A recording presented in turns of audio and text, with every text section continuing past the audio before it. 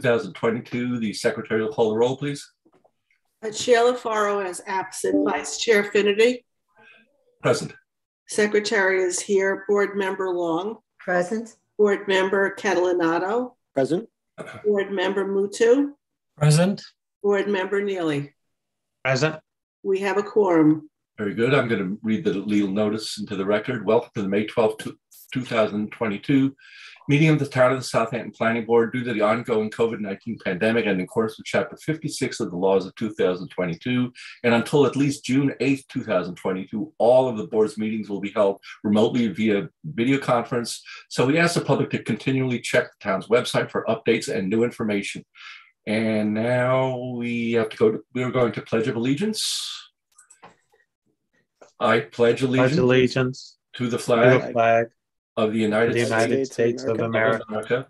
And to And the to the republic republic. It stands. Which for which stands. stands, one one nation, nation, under under God, under God, indivisible, indivisible, with liberty liberty and and justice justice for all. Okay, let me read the rest of this. We have a full agenda posted on the town's website for today's meeting. The town's planning staff, as well as the applicants and their representatives, will be participating via Zoom webinar, which is moderated by SeaTv. Charles Certain will be muting and holding the speakers in a virtual waiting room until it is their time to give testimony before the board. A reminder that applicants and their agents should state their name and address for the record. As is typical, there are no public comments allowed during our daytime meetings, nor is it appropriate for the public to use the chat function to comment on applications. The link to participate in this meeting via Zoom can be found on the town's website. This meeting is also being live streamed on the town website, on the town clerk's meeting portal. If you have difficulty accessing the meeting, please visit the town clerk's meeting portal and click on the instructions link.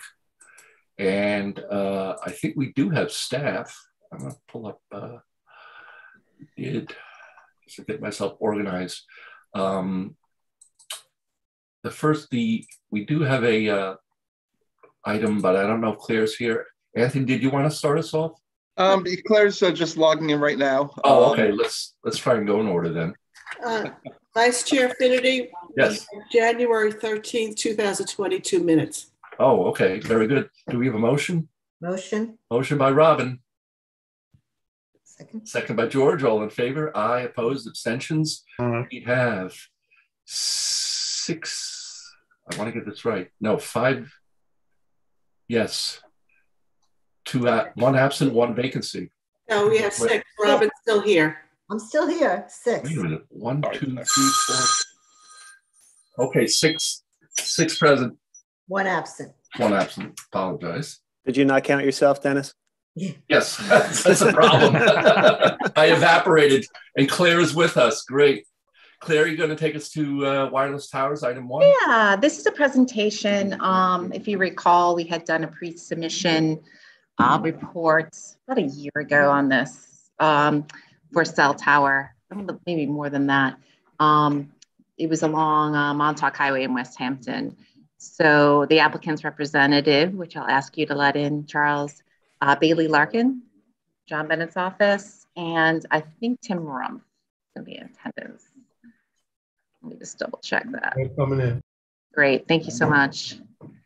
And then um, they're going to present uh, an alternative to you. So the original application was 125 feet tall, and they're coming forward with a stealth tower with no external ten- antennas for 105 feet. And they have a visual presentation to show you for your consideration. We would, the next step would be SEQRA on this, and uh, you wanted a visual to look um, to review uh, as this is near an open space parcel from the town of Southampton and uh, the visual impact from uh, Montauk Highway and the adjacent roadways was an important identified issue. So Bailey's here, I see. And Arias is here, yep.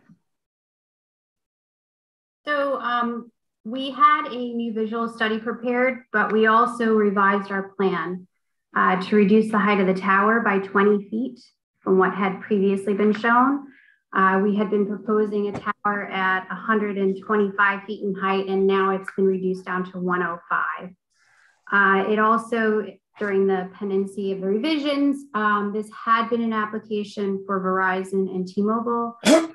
now AT&T has joined as well. So this uh, tower would support Verizon, T-Mobile, and AT&T as designed at this lower height. Um, to address the reduction in height and also the board's comments about specific locations for renderings, our client retained areas designed to do uh, revised uh, analysis, visual analysis, and um, I don't know if Steve can share it or I can. That's helpful. Bailey, I can share it. It's okay. That would be great. That would be great. Thank you. Okay. Okay, hello. Uh, this is Steve Naroda with Aris Design. I'm also George, uh, uh, joined by George Flanagan from our office as well. Uh, so this is the the uh, product of our um, presentation here that we uh, for the view shed study. essentially, we took a drone. We flew our drone at um, 105 feet above grade at the site, look the proposed cell tower location, and then we visited 13 viewpoints, viewshed points uh, in the area um, to see where the drone is visible.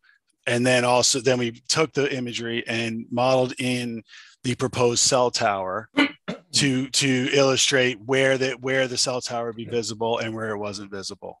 So this is a list on this sheet here. You'll see um, this captures 12 of the viewpoints. The 13th is further north where it gets captured up here. Um, uh, so it didn't fit on this this map.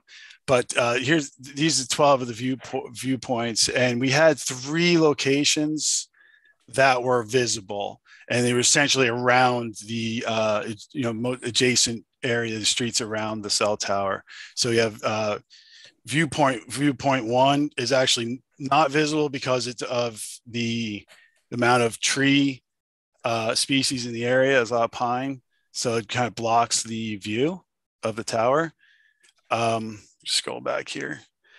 Uh, viewpoint two, uh, Seabreeze and Montauk, this location here. I'll just scroll down to it. There's the image we took. The, the drone, you capture the drone here as that circle, whereas the drone is at 105 feet above grade. And then this, we modeled in the proposed cell tower.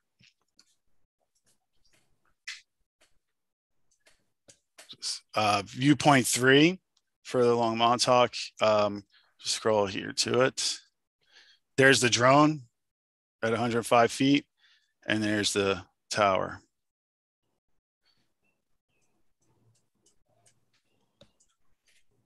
And we had viewpoint four, which is Old Country Road here to the north.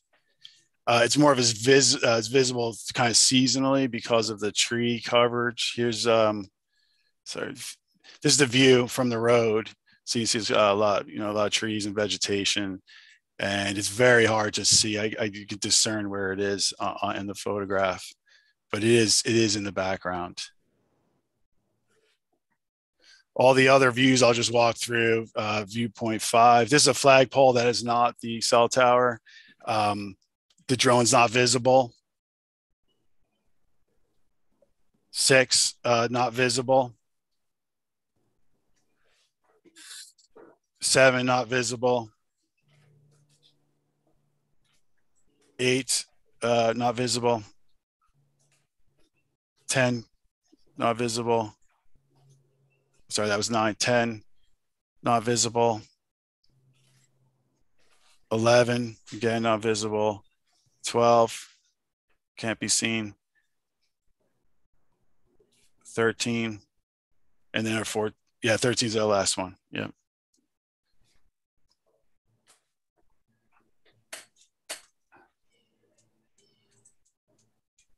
Just going back to the map here.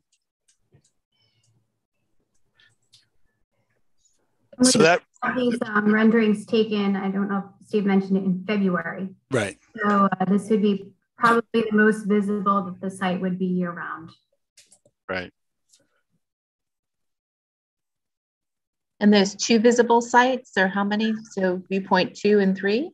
Two, three, and then four to the north. Claire, it's just it's seasonal. It's a lot, a lot of tree trees in this area, so you can see through the trees. You'll see it in the distance. Mhm. And viewpoint 12, I know the board was interested in this viewpoint. Um, I, uh, is because it's like further down, right? It's like a lower elevation here. Right. Okay. And the pole was dropped 20 feet in height from what had previously been proposed, which uh, is taken into account with this study. Is there is there a slope upwards at that property? That um, I, I sort of remember that being the um, the old old hotel that was there, right? Or is it or is it slightly west of there? At the top of the hill, there used to be an old hotel, if I'm remembering correctly. I don't recall. I don't No. think it was on this property. No. No, okay, maybe it's a little bit west of there. Did you um by chance did you um consult the airport at all? They have a, they'll have to by law get an FAA determination uh, that says there's no hazard to air navigation for this site. So they will have a determination on that.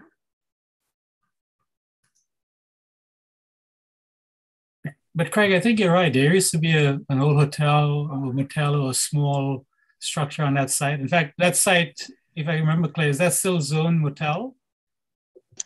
Um, are you talking about this area here? Where, where the cell tower is proposed? Oh, what the zoning is? Um, Split zone motel and residence. yeah, um, motel. Yeah, Right, right. exactly. Yeah, so it's sort of it's sort of up a hill, right?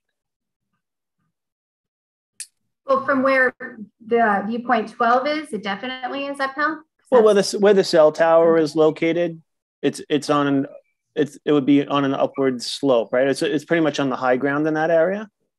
If or am I incorrect about that? property is fairly flat to be honest. Flat, yeah. Uh, yeah, just looking at the topo that we have and it Okay. This is up about four feet from Montauk Highway to where the site is. Okay, so in my mind's eye, I'm seeing it wrong. I I think I think perhaps it's to the left, uh, to the um to the west of where I'm west. thinking. Yeah. Okay. So my only concern though is um, it looks like there's there's a void in viewpoints um, between uh, 7, 12, and 3. There's a residential area in there. Um, how that might affect their their view. Actually, more so between viewpoints 3 and 7. You see those houses in there? Mhm. Was there a reason why you omitted that as a uh, test spot? Uh, we we were just on the areas that were in public right away area for viewport viewpoints. Oh, in other words, you can't you can't go flying a drone over someone's house. Right. Yeah. Right. You could from that that uh, street though to the south of viewpoint three, right?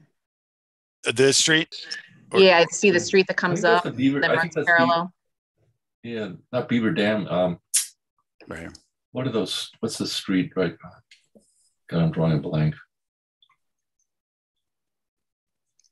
Wow. Yeah, I can't remember it either. I can I have the aerial. Hold on a second.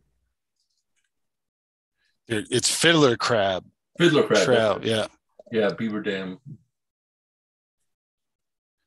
Is a plume grass way uh, branches off of sea breeze Ave, Yeah. and then fiddler crab uh, Fiddler is off that. And this is like a light industrial development right beyond that, between that and Montauk Highway. There's some highway business in there, I think. Yeah. Yeah.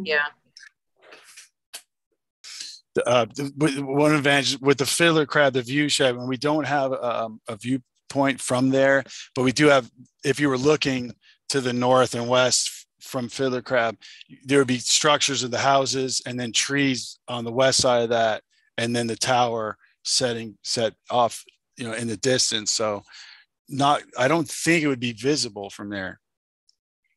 It's gonna be a little lower elevation on fiddler crab as well. The tower is just for everyone's records, it's 285 feet north of the property line, north of Montauk Highway. So we tried to set it as far north into this lot, uh, away from residences as possible.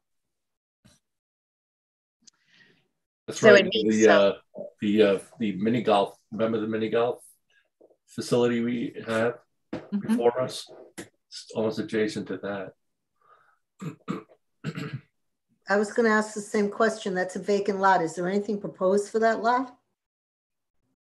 The Claire? mini golf, the mini golf property? Where, where the cell tower is, it looks like it's clear. There's no housing or anything on that. Is there anything in the hopper? No, Yeah, cemetery.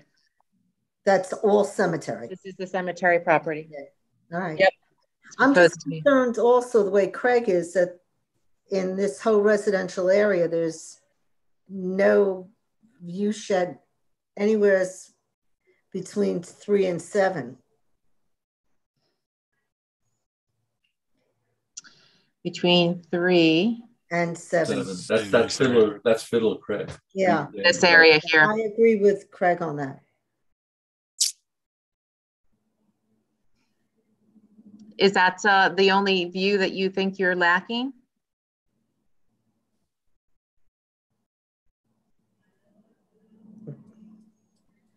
It just disappeared.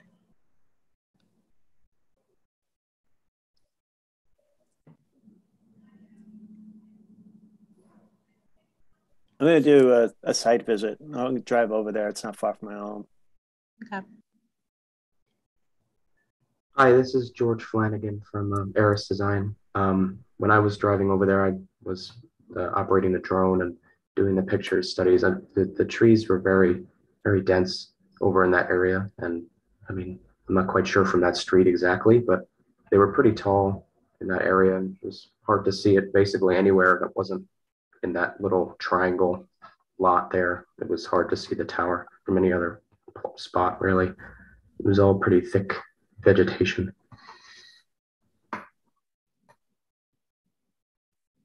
Can you go back to three again?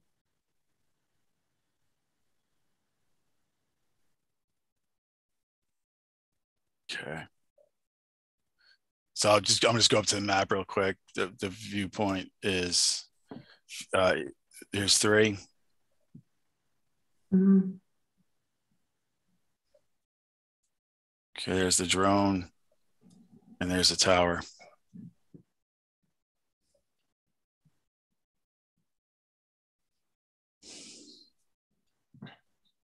That's right in front of the um, car dealer, right? The car Yep. dealership. Ruby, Rubio, yep. I wonder directly, dead on. if the car dealership would block it. You know, There's- if there was a view.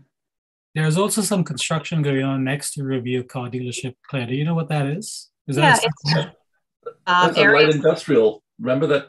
Yep, it's highway business. Uh, it is a contractor and Arius worked on that as a site plan. So the Okay. planning board reviewed that and approved it. It was approved maybe three or four years ago, I think. Yeah, Three lots total.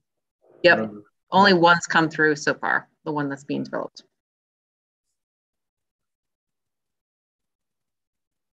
I think maybe the other place, if we if we're looking to do some additional views point, is along Bakers Avenue.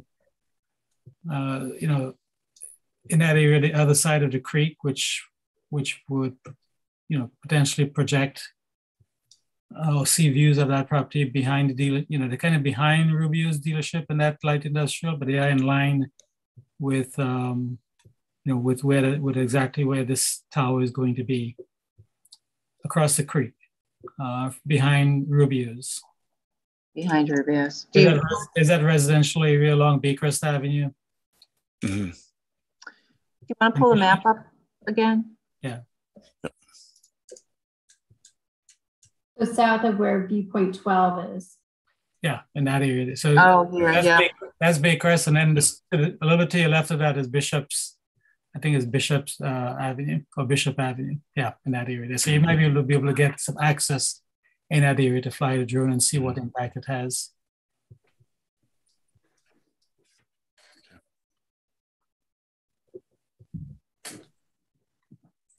The drop of 20 feet, is that because of the elevation of where the cell tower is going? Is that why you were able to go 20 feet? uh, No, I, I think the board had expressed uh, disfavor with 125 feet. And so uh, we went back to our client and asked them if they could potentially drop the height to 105, um, which is fairly consistent with, I think, the height of the tower that was approved in, in Watermill recently Mhm. um, on Montauk Highway, um, and, and actually lower than several other towers that have been approved. Um, like the one by Mr. Tortorella's property, that wireless tower constructed was actually at 150 feet in Hampton Bays. Um, and the uh, Bridgehampton site, Elite Towers in Bridgehampton, is at 120 on, I believe it's Foster Avenue. Um, so this was proposed at 105. We're trying to reduce the height some uh, to address the board's comments. And, and the reception and everything that you need is sufficient? It makes me question the other towers. Well, we had submitted a, a, uh, an RF analysis, radio frequency analysis, um, showing that there will be a loss in coverage from dropping the height. Um, and I think it loses some coverage actually to the south in those residential neighborhoods. Um, but to offset, you know, visual impact, which I know is your primary concern on this site, uh, they were willing to drop the height to 105 um, for this project. And to be clear, no other um, antennas or anything external connected to the pole, right? No, it would be a, a stealth tower. I know the board has a preference for seeing a galvanized pole, which is what was rendered for you.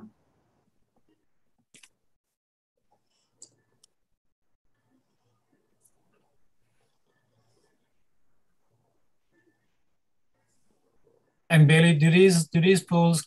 Um, I'm asking, but I think I know the answer. Is do they come with uh, support wires or just a you know straight uh, monopole? Uh, like just a just a monopole. Um, all the cabling is inside the monopole itself, uh, and the antennas are inside. There will be a fenced compound around the base where the base equipment will be located. Um, but all of the wiring's inside, the antennas are inside, and it's it's just as what was rendered will be visible. What kind of wind speeds can they tolerate? Uh, they have to meet all of the uh, building code requirements for wind speed, and they base it on the district they're in, which I know Southampton has a very high wind speed requirement. Um, but there will be a, a, structural analysis that will be filed with the building department, confirming that it'll support uh, adequate wind speeds for this area. Okay. So are we recommending one or two more view shed uh, views to in that gap area?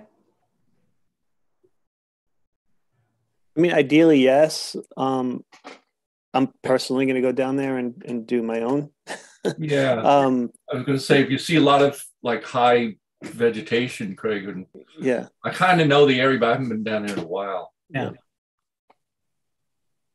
Would it help the applicant to do pictures from those viewpoints Yeah. and just see? I can. Um, yeah. Just pictures? Then, then you would know that, right? Yeah, that way we could all see it. Yeah, so maybe do a couple pictures from a couple sites, um, kind of surround it. Claire, I think the record should at least reflect that if there is the, it should have some documentation in the record for the reasoning for that gap. If it's because it is heavily vegetated and we don't need to do it, but the record should reflect that, that we at least considered and requested the information there. So um, I would suggest having something for the record as to the gap between in the in the, the coordinates of v, v uh, viewpoint 12 3 and 7 something for the record there either that we don't need it because it's redundant or heavily vegetated or we do need it but Okay. It, Bailey, do you feel you could provide that with some backup I think pictures? some photographs, um, just from basically you're saying the end of that one court near viewpoint seven, just to the east of it, and also in that other street between viewpoint 11 and viewpoint three. and there's also what was the um, going north from viewpoint 7 there's a street there I think right where the hand is yes that one right there. Yeah, it's Yep. uh, that's That Bay, little- Baycrest here Okay, and Bishop Bishop Avenue. bishop avenue yes Sure. Okay. Let's just clarify that section so we don't have anything open in the record. Okay. Any other action, uh, Claire, on this? uh, No, this was a work session to kind of, to get a handle on it again and, and to review the changes.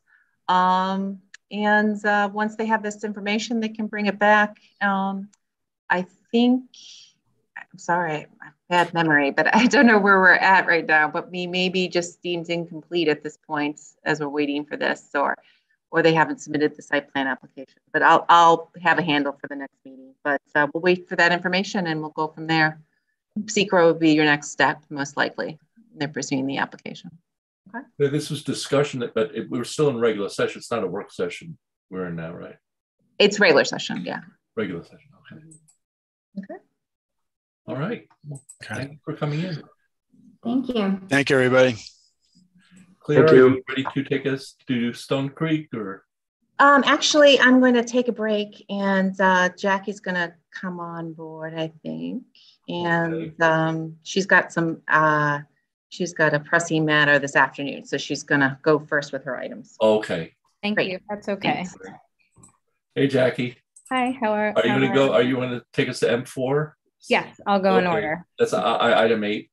Yeah, so this is just an extension. We are working really closely with the applicant's representative and we're almost done. This is the drainage swale common driveway issue. So uh, we do now have the final version and I'm just uh, waiting on engineering's comments so I can formalize with the approval and bring it back to the board. So this would be an extension until next meeting, May 26th. Okay, do we have a motion? Motion, Motion. Motion by Gloria, second by Craig, all in favor, aye, opposed, Aye. abstentions. Hi. We have six yes, one absent. Great. Um, and the next one also, um, I just spoke with the applicant's representative. Um, you know what? Um, there's, yeah, Santora. I have a draft final conditional approval, but I do want to go over something. Um, just because, uh, there's a technicality and I want to double check the wording of the variance. So if we could also extend this one to May twenty-sixth as well, so I can resolve that, um, in the meantime. Okay, very good. Do we have a motion? Motion. 11? Motion by Gloria, Second, second by Robin, all in favor, aye, opposed, Aye. abstentions, six yes, one absent. Um, and next is Broda, Laurent, uh, Laurent and Chantel. Uh, we are also working with the applicant. Christine and I have met, um, with some of the neighboring property owners and their representatives. What number Uh, that? so- Um, Jackie, I'm sorry, I got lost. Oh, sorry. Did I skip one? 15. Uh, oh, 15, yes. Fifteen. Okay, we jumped over Bridgewood though. Oh, oh, did we? Yeah. Oh, Well, let's stay sorry. on Broda. Let, let's finish Okay. that one up. Okay. Oh, sorry. Yeah, I, I flipped to it. Sorry myself with my paperwork. Um, yeah, so 15 is Broda. So um, this is the two lot subdivision with open space where it has the driveway access issue. That Yeah. flag, um, if you'll recall, we had a bunch of public hearings in the late fall and early winter. Yeah. So I think we have a creative idea, but we're kind of meeting with all parties and trying to formulate a new plan. So I'm waiting on that revised plan that I would like to show to you guys. Um, so we did get a, a revision, but it wasn't the correct revision. So I'm just asking that that be extended again till June 9th so I can get the survey revision that we requested um, in acceptable form, and then we can bring it back to the board to show you what we're thinking of. So do we, is that gonna be from eight twenty-six, Jackie, or do you need a Uh, longer? Actually, June 9th was the agreed June upon 9th. date. Very good. Do we have a motion? Motion. Motion by George, second by, uh, Lori and I caught on the second. All in favor, aye, opposed, abstentions. Six yes. It was a tie, Robin. I'm sorry. Uh, you want to jump back now to Bridgewood? Jackie, Yeah. item fourteen? Yeah, would you guys like to see the uh, property? Uh, This is to approve the uh, site disturbance, so, Revenge, okay. all right, so.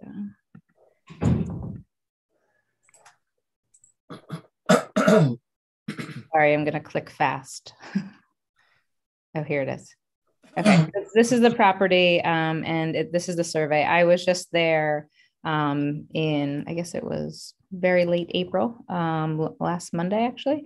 Um, so they had done some clearing and cleared out the understory. They have since revegetated this, uh, whatever that rainy Monday was. I think it was last Monday. Um, so everything looks good. They did a good job, but uh, they basically had renovated for the screened in porch and then had taken out some of the understory with their landscaper. So they have now replaced that.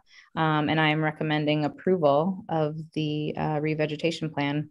Um, and it's already been done. So just uh, asking for, um, you know, the um, you know the CC can be released. So The, uh, the one, actually, the one year policy, yeah. Okay, Jackie, also, uh, before we vote, could you, you stop screen share? You know what it is? Oh, I can't absolutely. see. I Yeah, no- that. Yeah, no problem. Valerie. No Okay, problem. do we have a motion to approve the re-veg? Motion. Motion by Gloria and second by George. All in favor? Aye. Opposed? Abstentions? Six yes. And you've got, um, oh, that's Claire's. Can I ask a question about re-veg before we move forward? Someone asked me from our, my community and I, I wasn't able to answer the question. When someone's in violation of uh, clearing restrictions and they receive a summons, um, are, do they have to pay the fines after a re-veg or do they get out of their fines when they bring their re-veg plan to us? No, and you know what? Um, to explain this, it used to be a violation of the code. So then they would go to court, and then the court would say, "All right, you pay this thousand dollar fine, fine, but also you now need to go and show proof that you contacted the appropriate, you know, land management department." Um, so it used to be Marty's office, the Environment Division, and then we realized in the code that under the Aquifer Protection, the Planning Board actually has authority. So we changed the process and basically said, instead of you going to code, wasting docket time wasting money and resources for them to actually then send you back to the department or division that was appropriate to review these, we basically said you don't have to go to court anymore. You come directly to us, but you're basically paying that thousand dollar fine wrapped into the sixteen hundred dollar fee. So we always had like a fee of around like five hundred dollars to review these applications, and some are very lengthy review. You know, sometimes you know you guys are seeing the result, but there's a lot of back and forth site visits and stuff that needs to be done. So essentially, that sixteen hundred dollars is going to wrap in the application fee and the violation fee. But then we work with you, and depending on the situation, building permit, or you didn't know, or it's a buffer, we'll work with you on the revegetation and the timing, essentially. Okay, thanks for the clarification. Yeah, you're welcome. Um, so Dennis, the next one I have is Blessing Fields. Blessing Field, that's the one Yeah. on Montauk Highway. Yeah, so we had um, ass- assumed lead agency. Uh, the ZBA had coordinated with us. So uh, probably about a month or so ago, we had um, a requested lead agency. So we are now lead agency.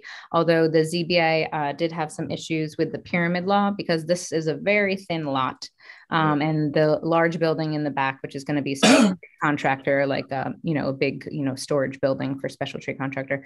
It just has a lot of pyramid relief that's needed because of the narrowness of the lot. So they're actually working on that and revising the plan. So I don't have the plans or the traffic impact study that we asked for um, related to this. So they are in the works of revising everything with their architectural plans and that. And I just spoke with their representative and met with them uh, earlier this week. So they are requesting an extension of the SEQRA action deadline till June 26th. So that way I can get those materials and then we can properly coordinate with the appropriate agencies. Hey, Jackie, quick question. Um, This project's unusual in that it's directly, it'll- it lines with a signalized intersection. Will, will, does that signal, that- and it's state road, right?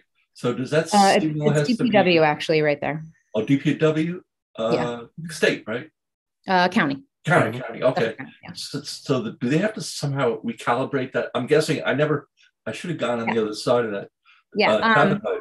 I, So what I- do you see on the other side? Does it blinking or nothing or? So very conscious of that. Sometimes it is blinking. And I asked actually, um, this has changed from Lisa Poyer from InterScience and now it's Mike Shiano. So um, a lot of this too, you know, I have to like reconvey to Mike, um, which he's working diligently, but the county is aware of it, but it does have, I believe during rush hour, from what I'm told from the applicant's representative, that it's actually signalized. So when it's very dense, like in the morning and in the afternoon, like evening hours, um, morning and night rush hour, basically, it is triggered.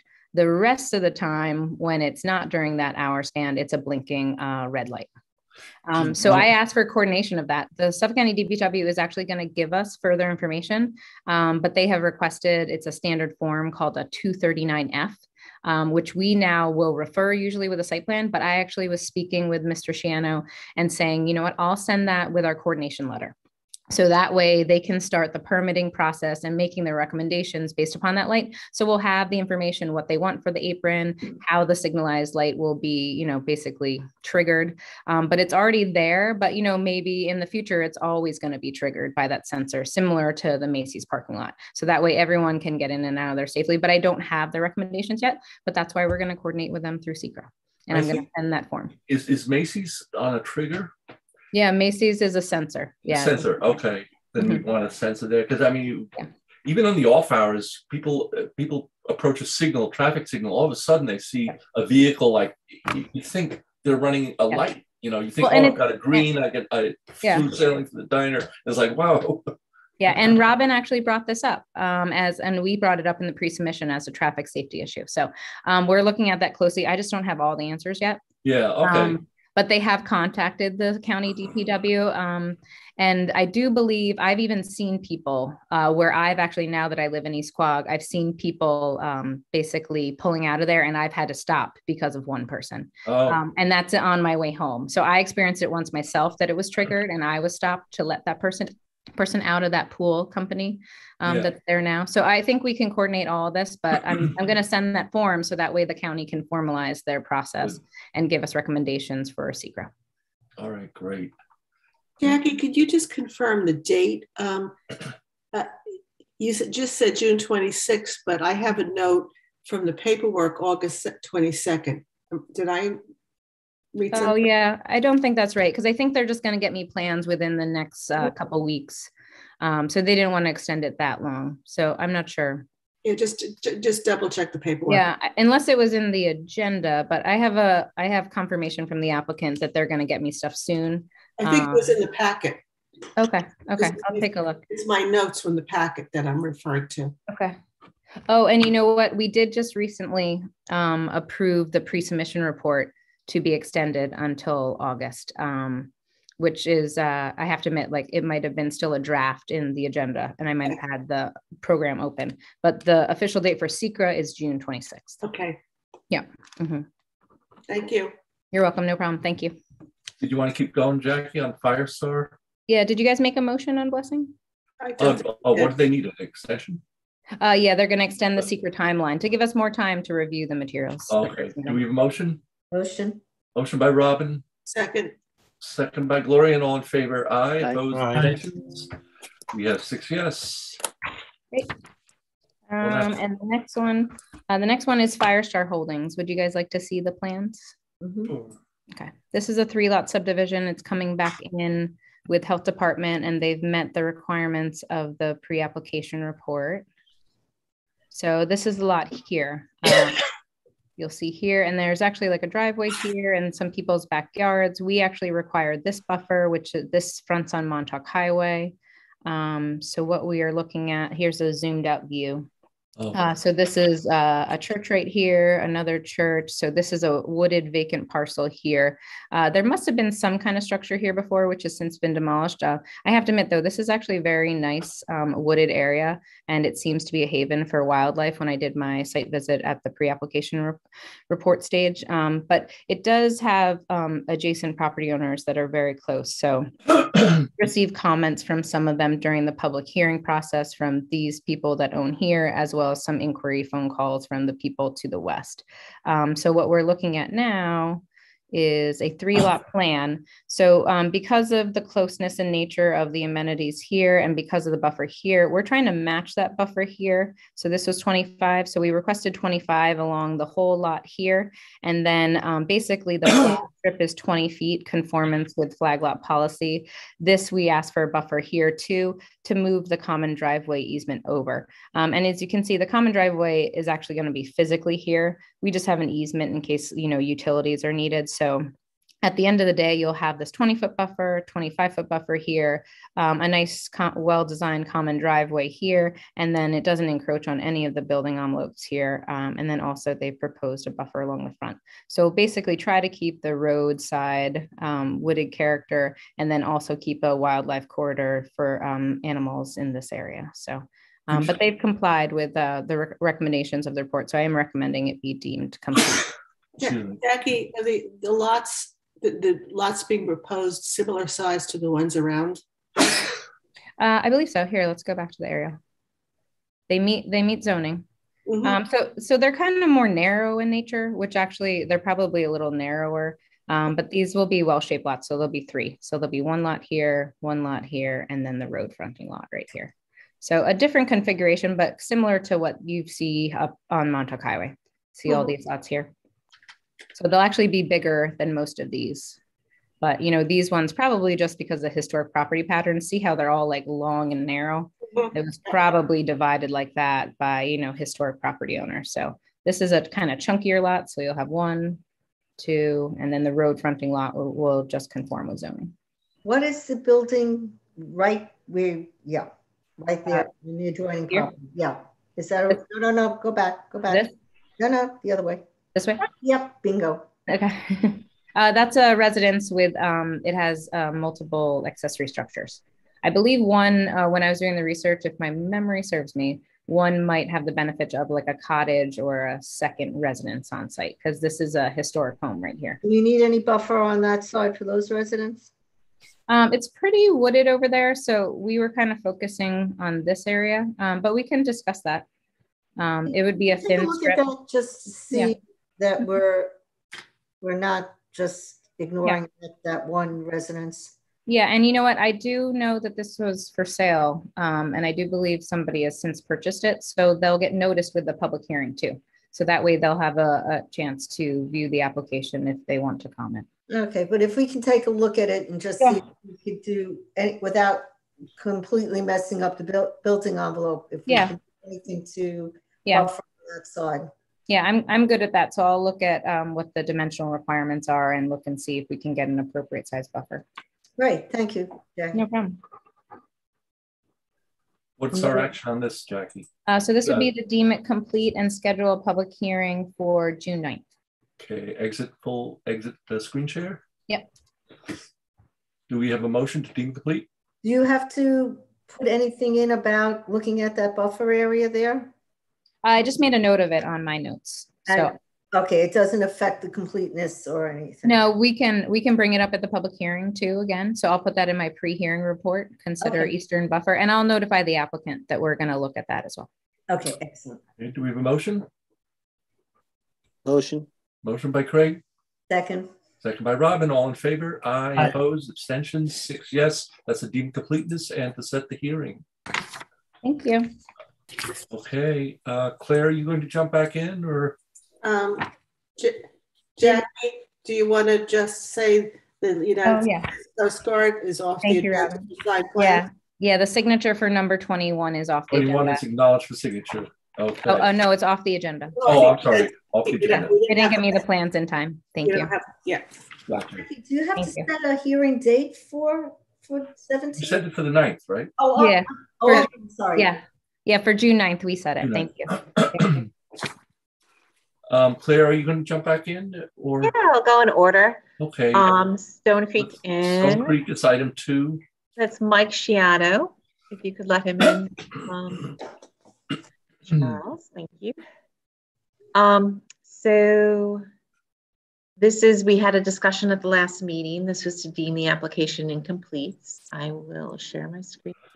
There we go.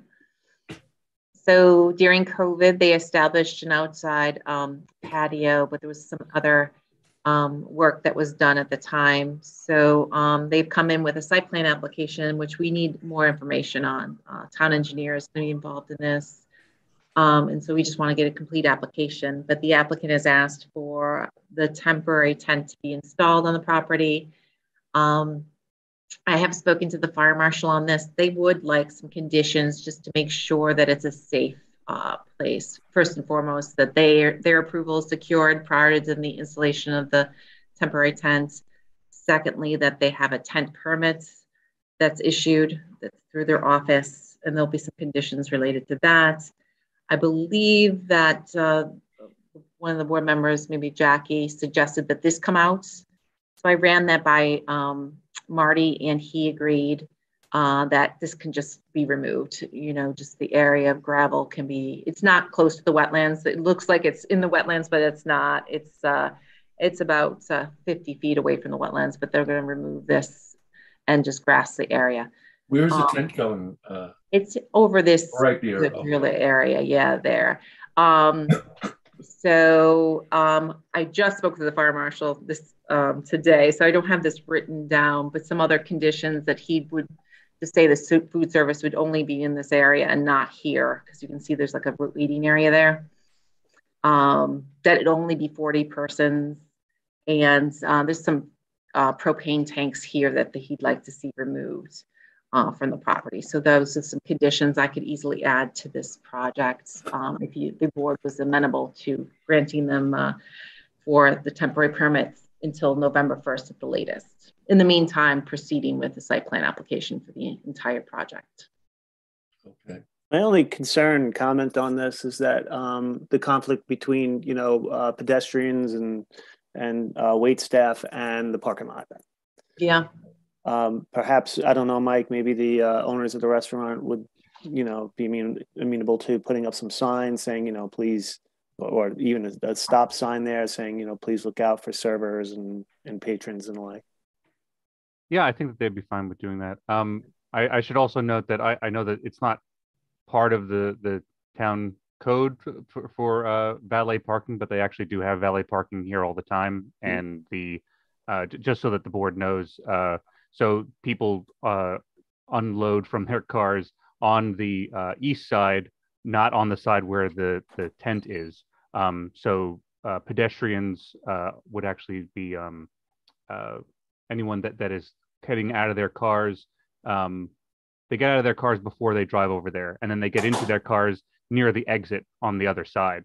Yeah. So so there's not necessarily that many. The the only people that are driving in that area are people who are employed by the uh, by the building. Yeah, Um, no, definitely valet certainly helps. Yeah, but but um, I I don't see why they would be uh they would be amenable to uh having signage if if that would make you more comfortable. Absolutely. And the restaurant was actually closed on Tuesday, and it was uh, my wife and I's anniversary.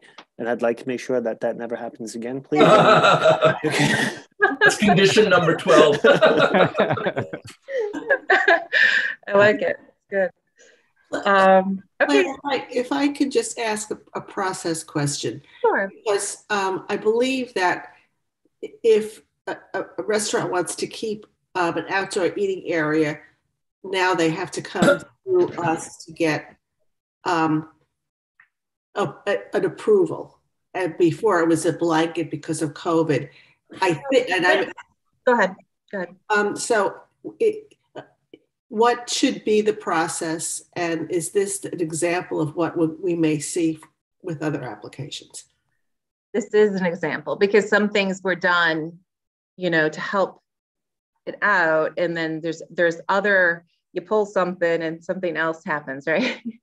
so here, the parking needs to be controlled, pedestrian access, as Craig is saying. These are all things we need to forward thinking, you know, make it safe uh, for this property. And so that takes a little review, you know, fire marshal can't review this in two minutes, right? Kind of thing. So, um, yeah, I think we'll, se- think some, will be easy, right? But we already saw North Sea Tavern as a work session. Do you remember that one? That's in the back. Yeah, so we, we're starting to see these, but Channing daughters. Hmm? Channing daughters, the Like, 10th. yeah, Channing daughters more recently. But if you remember, we have approved this prior in this instances um, uh, prior to COVID. So this is just to try to get a handle and and recognizing that outdoor space is an amenity for everybody, you know, for the restaurant and for our community. So we're trying to help them out too, you know Make it work. Yeah. yeah make it work yeah so we might come up with um, some code to that effect too we're, we're going back and forth um, so it makes it easier for everybody so, Um, Claire, the the, fire, the the propane tanks that the fire marshal wants removed is that for Mhm. heating? they were of uh, from my understanding according to john rankin they were for um, heating tanks uh, underneath the tent because that was permitted during covid but is no longer permitted because it doesn't tents and heating elements don't go together. So that's uh, that's why he wants them removed. And they're in the floodplain and so that's just not a safe position for them to be. If there was a flood that would be unsafe But so right now they're stored they're stored there rather than they're stored there very easy i think for them to remove them and so we'll just have that as a condition But, that, but that's not that that's that's not to mean that they're not going to be used for. Are they planned to be still using outdoor heating? Because you know I know with with the outdoor dining for during the, the COVID years, that became a very popular option to have these outdoor heating towers. close to- right They could use them uh, in the waiting area, uh, but they can't use them underneath the tent at all. It's not permitted. So uh, in this case, they can remove them. And if they want to propose them someplace else, that can be part of their site plan review. Would be amenable to that. And um, just picking up on this thread of discussions, learning as we go. Um, what about lighting in the parking lot in the pedestrian area? Is that how is that parking lot lit? Is it lit at all? Are there, you know, kind of mood lights along the along there to light the way? Uh, just kind of curious what was done for the tent initially, and again, is this something we should think about, you know, going forward? I agree. Uh, we should think about lighting. Mike uh, can maybe speak to this, but when I saw the pictures, it was kind of mood lighting. You're right. It was those hanging lights from the trees. Right. Um, but we want to be safe. Uh, and that's something we'll look up through the site plan. Mike, do you want to speak to that? Uh, yeah. So uh, that was one thing that was mentioned in the um, things that we need to address uh, in in uh, for the site plan. Um, and uh, right now there are um, actually on the on the south side of the building there are floodlights on the on the south side of the building, which we're going to be replacing with uh, code compliant lights because right now they're not uh, fully shielded or or uh, down facing. Um, they're like the original floodlights that were on the building when when it was updated in like 1995. Um, and uh, so we're going to be addressing that as part of the site plan application, and also safety lights to, in order to access the the um, the tent outside and how we're going to be dealing with that. So that will be part of the site plan review. Thank you. So, um, so this would facilitate the tent going up on May 13th and with a, they have to be removed by November 1st. Um, and with the provision, it's no vested rights um, and the conditions that I had mentioned before. But I can go through them again if the board's more comfortable. Well, one condition is, I, I think, signage, uh, signage as per the, the direction of planning staff. If you okay. feel the need for a, a you know stop sign or Okay. You know, they have those freestanding things. Okay, so I could do, uh, yeah, signs for pedestrian safety uh, for yeah. staff. Okay. Give them a list of what you think would be appropriate. Okay, no problem. That'll could be condition number seven. Okay. Okay. So, good. Well, this is an approval for the tent. Do we have a motion? Motion. Motion by Glorian. Second. Second by Robin. All in favor? Aye. Opposed? Abstentions? We have six yes. Thanks, Mike. Thank you very much. Coming in. I don't think I have anyone for my next one. Uh, this is pretty straightforward. Base Town Center? Yeah, it's for signage. it. This is to prove the signs. Um, this is the property, this is the building immediately next door to the Rite Aid. If you remember, we, we did the Rite Aid a couple years ago. Um, this is the Rite Aid uh, portion of the building, and this is what was known as Hudson Savings Bank. Yeah. Okay. And oh, so yeah. Metro uh, Physical Therapy is taking over the space. Oh, good. Yes. And I hate vacant large buildings at that like that sitting vacant mm-hmm. detriment to the whole shopping center. That's wonderful. Right. It's been empty so this, a long time. Yeah, it's great. So it's black. Um, oh, actually, this is the old one. Uh, I hope I saved it. Can you excuse me for a minute? I'm just going to get the, the latest plan. So the ARB reviewed this and uh, they asked for the little butterfly to be removed um, from the sign. So the applicant did. I just want to, I'm sorry. What do they have against butterflies? Yeah. exactly. Things are getting harsh. I know. A rough, um, a rough bunch. Exactly. so I thought it was a logo. Right. They thought it was a logo. So I think I have this. Hmm. I'm hoping this is it. Yep. Yes. Oh, yay. So there it is with uh, without the logo. Okay, the, the, underneath, the, it says aquatic pelvic floor. Mhm. It's just, what, what is the pelvic floor?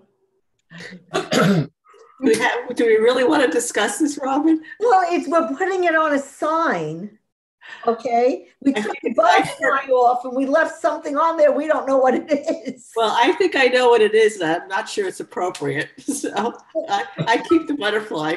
But I'm saying, is it, I'm asking, is it appropriate for the song? I, just asking, I, that, the butterfly didn't, Oh, you know what? It wasn't on the original sign. what is, because we don't usually have descriptions of the Oh, yeah. So you can take that off. Yeah, because the original sign did not have that reference. So Okay, So those easy. three things on the bottom, aquatic. Yeah, aquatic, they're off. They're off. The They're off. ARB did not approve those words on those. I, Yeah. Yeah. If they want something different, they have to come back to you. But Okay. without that, th- that those three words will come off. Yeah, I didn't. It didn't look familiar to me. Could you bring it back up? Just. Yeah, I will. Just. Thanks, Claire. I just, We, we don't. I wanted to to double check. So what the original signs showed, can you see that? yeah, It didn't have any words like that. usually it doesn't have um, descriptions of the service. stuff- Yeah, it's like we, a hardware store, you don't have 17 things that they sell. Yeah. Right, So Especially when we don't know what was writing there. so we will approve the Metro Physical Therapy um, without any wor- additional wording below. Correct. I think the sign looks better without the tagline. It's it's neater, cleaner. Yeah, Mm-hmm. Right. Exactly. no wording. It's not usual that we do those descriptions. Yeah, It's usually the business name and that's it. Mm-hmm. okay, Yeah. So let's, we'll prove it with those three words removed. thank you. Obviously, if they want something different, they actually have to go back to the Z, the ARB because those words weren't there and back to you. Okay. If you're inclined, I will, I will make a motion. Screen share. Motion for sign approval. Second, Motion by Gloria, Second, second by Robin. All in favor? Aye. Opposed? Aye. Extensions? I heard you first, Robin. it's okay. It's just- I didn't see your hand. I think, uh, I have to be nice, it's your last, last meeting. Thank you. Um, Claire, uh, you're going to do 12 Foster? Item four.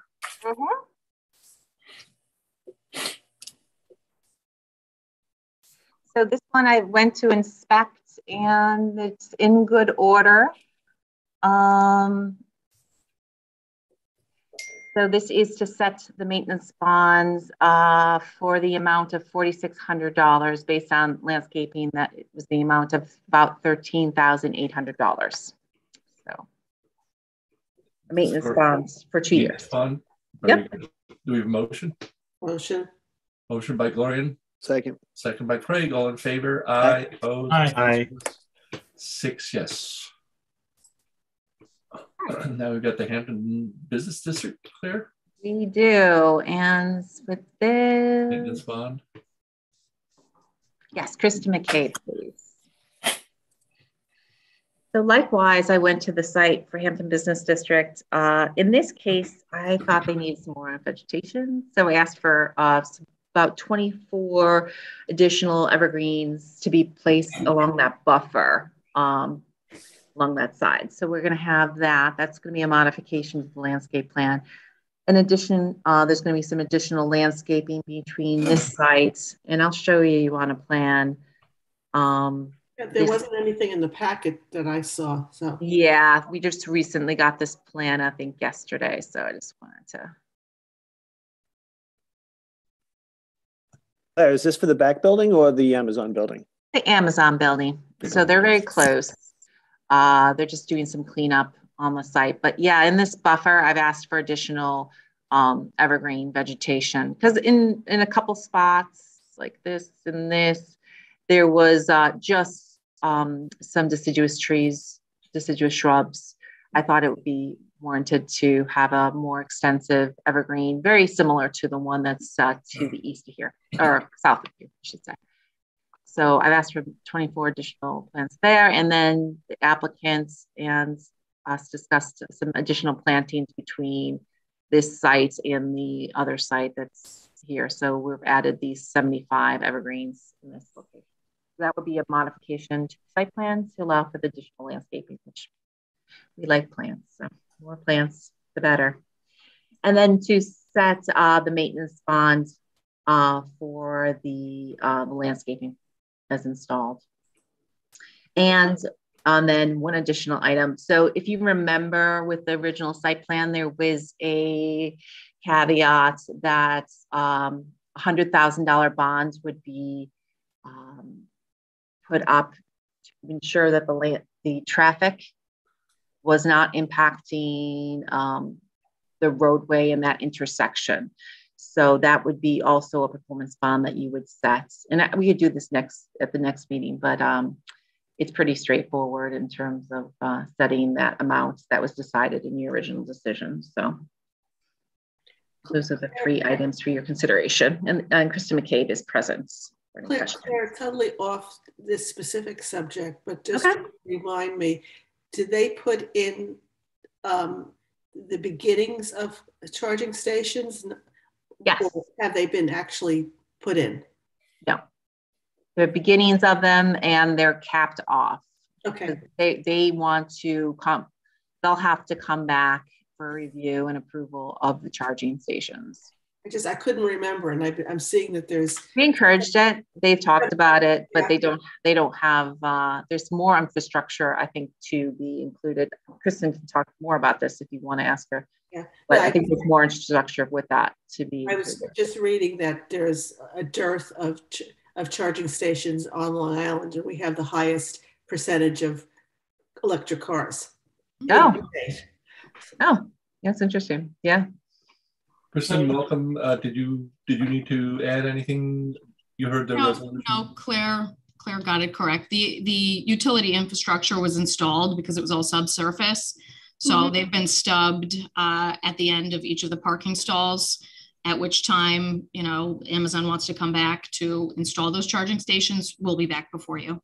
But at least the the the, the main infrastructure won't have to be ripped up again. Yeah, it, and it was vast. So it would have been a nightmare to do it after the fact. So it was planned, you know, as part of the initial uh, development of the site. Uh, Claire, is that, are those three going to be rolled into one resolution or do we have to adopt three resolutions because you got a bond? Got... I think do three, if you don't mind. Three? Okay, yeah. the first one is to set the maintenance bond. Is that can, I ask a question before we before we do the resolution? Yeah. Claire, uh, can you just give us a really quick, uh, or give me a quick update? What is that maintenance bond for traffic affecting the area? How is that supposed to work? Yeah, so there's a little bit more to it than just the hundred thousand dollars, right? What does the hundred thousand dollars guarantee? That would be to guarantee if you wanted to do any improvements to that intersection such as changing the signalization. Um, is, this, is, this, which intersection is this? The existing traffic, yes. traffic light? Yes. Okay. And was, I think the issue uh, might be with the was, school. Yeah, there was questions because of the BOCES. And we weren't able to get a clear picture of what was going on in that section, how much it would increase. So this was the the uh, back you know, giving the, the board protection, the community protection by having the bonds if we have to go back and do more studies or such. Am I correct, Claire? Uh, yes. And specifically, just let me, I can explain it. George, this is George's language, so he's gonna definitely understand this.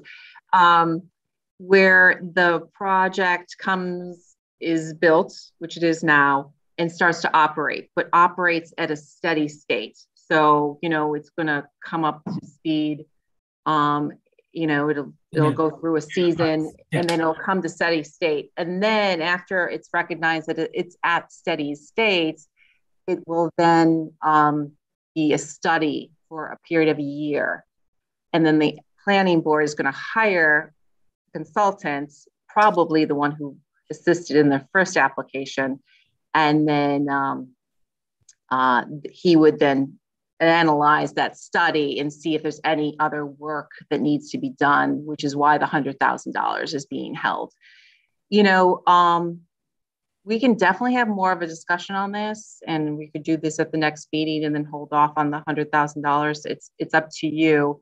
Um, we, I probably would want to make sure we have that process in place that we're not coming back to you every time, you know, we hire McLean or they started steady state, or maybe you want that update. So, you know, this is our first time doing something like this, which is kind of looking at things after it's built. Christine, do you have to take a look at that language for what triggers what? Because there's a lot of things that are triggering. Maybe we ought to go with just one, the maintenance bond for the landscaping and the landscaping plan and take a look a little bit more of how we trigger the utilization of the bond. Well, the, the, your resolution was pretty um, all encompassing for, for what the analysis should include. So um, I can read the bullet points, but it's a minimum of one year after the facility's full occupancy, with full occupancy being defined as the time when the steady state has been achieved. And Amazon defines steady state uh, as generally six to eight weeks, takes that time to, to ramp up. But you also include um, both peak summertime as well as peak holiday season periods. So this will be a, you know, a, a, a data gathering process at different times to come back to to give you a complete analysis to determine if there were any um, impacts that require mitigation. So if you'd like, I can offer that we could provide, um, you know, a, a, draft scope to review. And then Claire, if you wanted to refer that to LKMA to go back and forth, and then we could, we could present that to the, the planning board at, at a later date if, if you think that works. But at the time, at this time, really, we just want to post the hundred thousand dollar bond um, for the maintenance, uh, excuse me, the performance bond, so that we can. It's a it's a condition of the certificate of occupancy occupancy that we're trying to get by the end of the month. Okay. And we have a bond.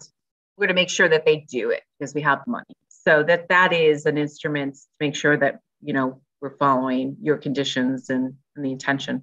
Chris, I'll go through that.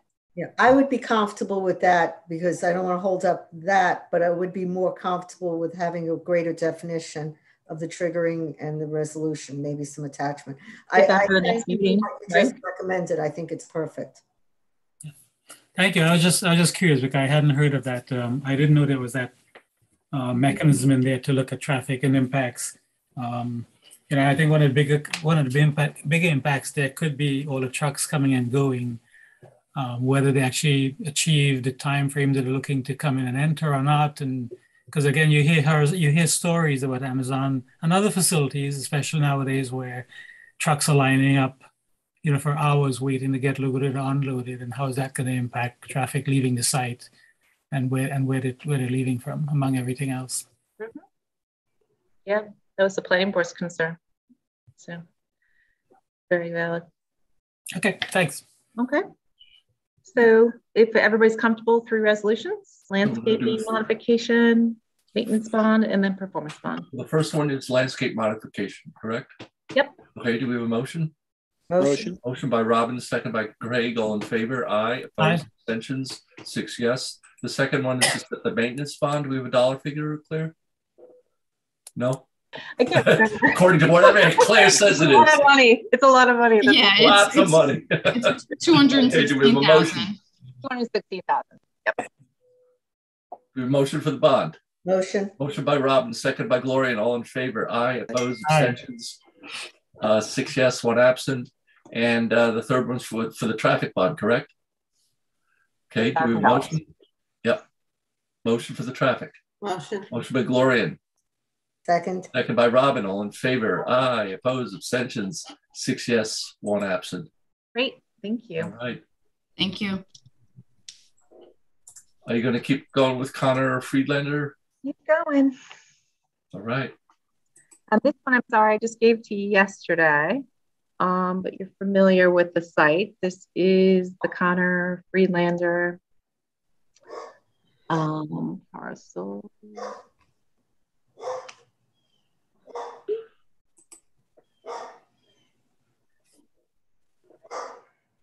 This is the resolution. Here's the plan.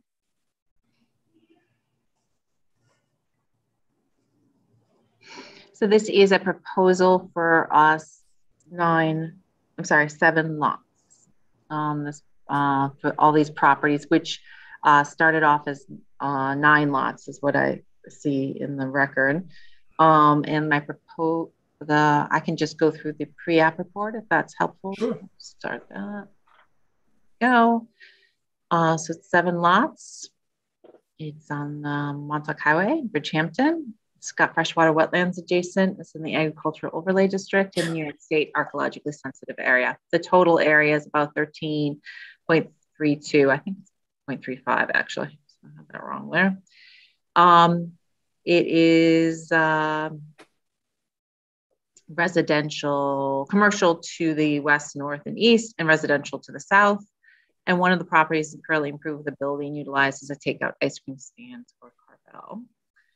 Um, preferred plan is a seven lot standard plan. It is in the archaeologically sensitive area and a phase one A and B is required. It's in the um, agricultural overlay districts and uh, was historically farms and a referral will be made at the uh, time of the application, um, probably with the preliminary application actually.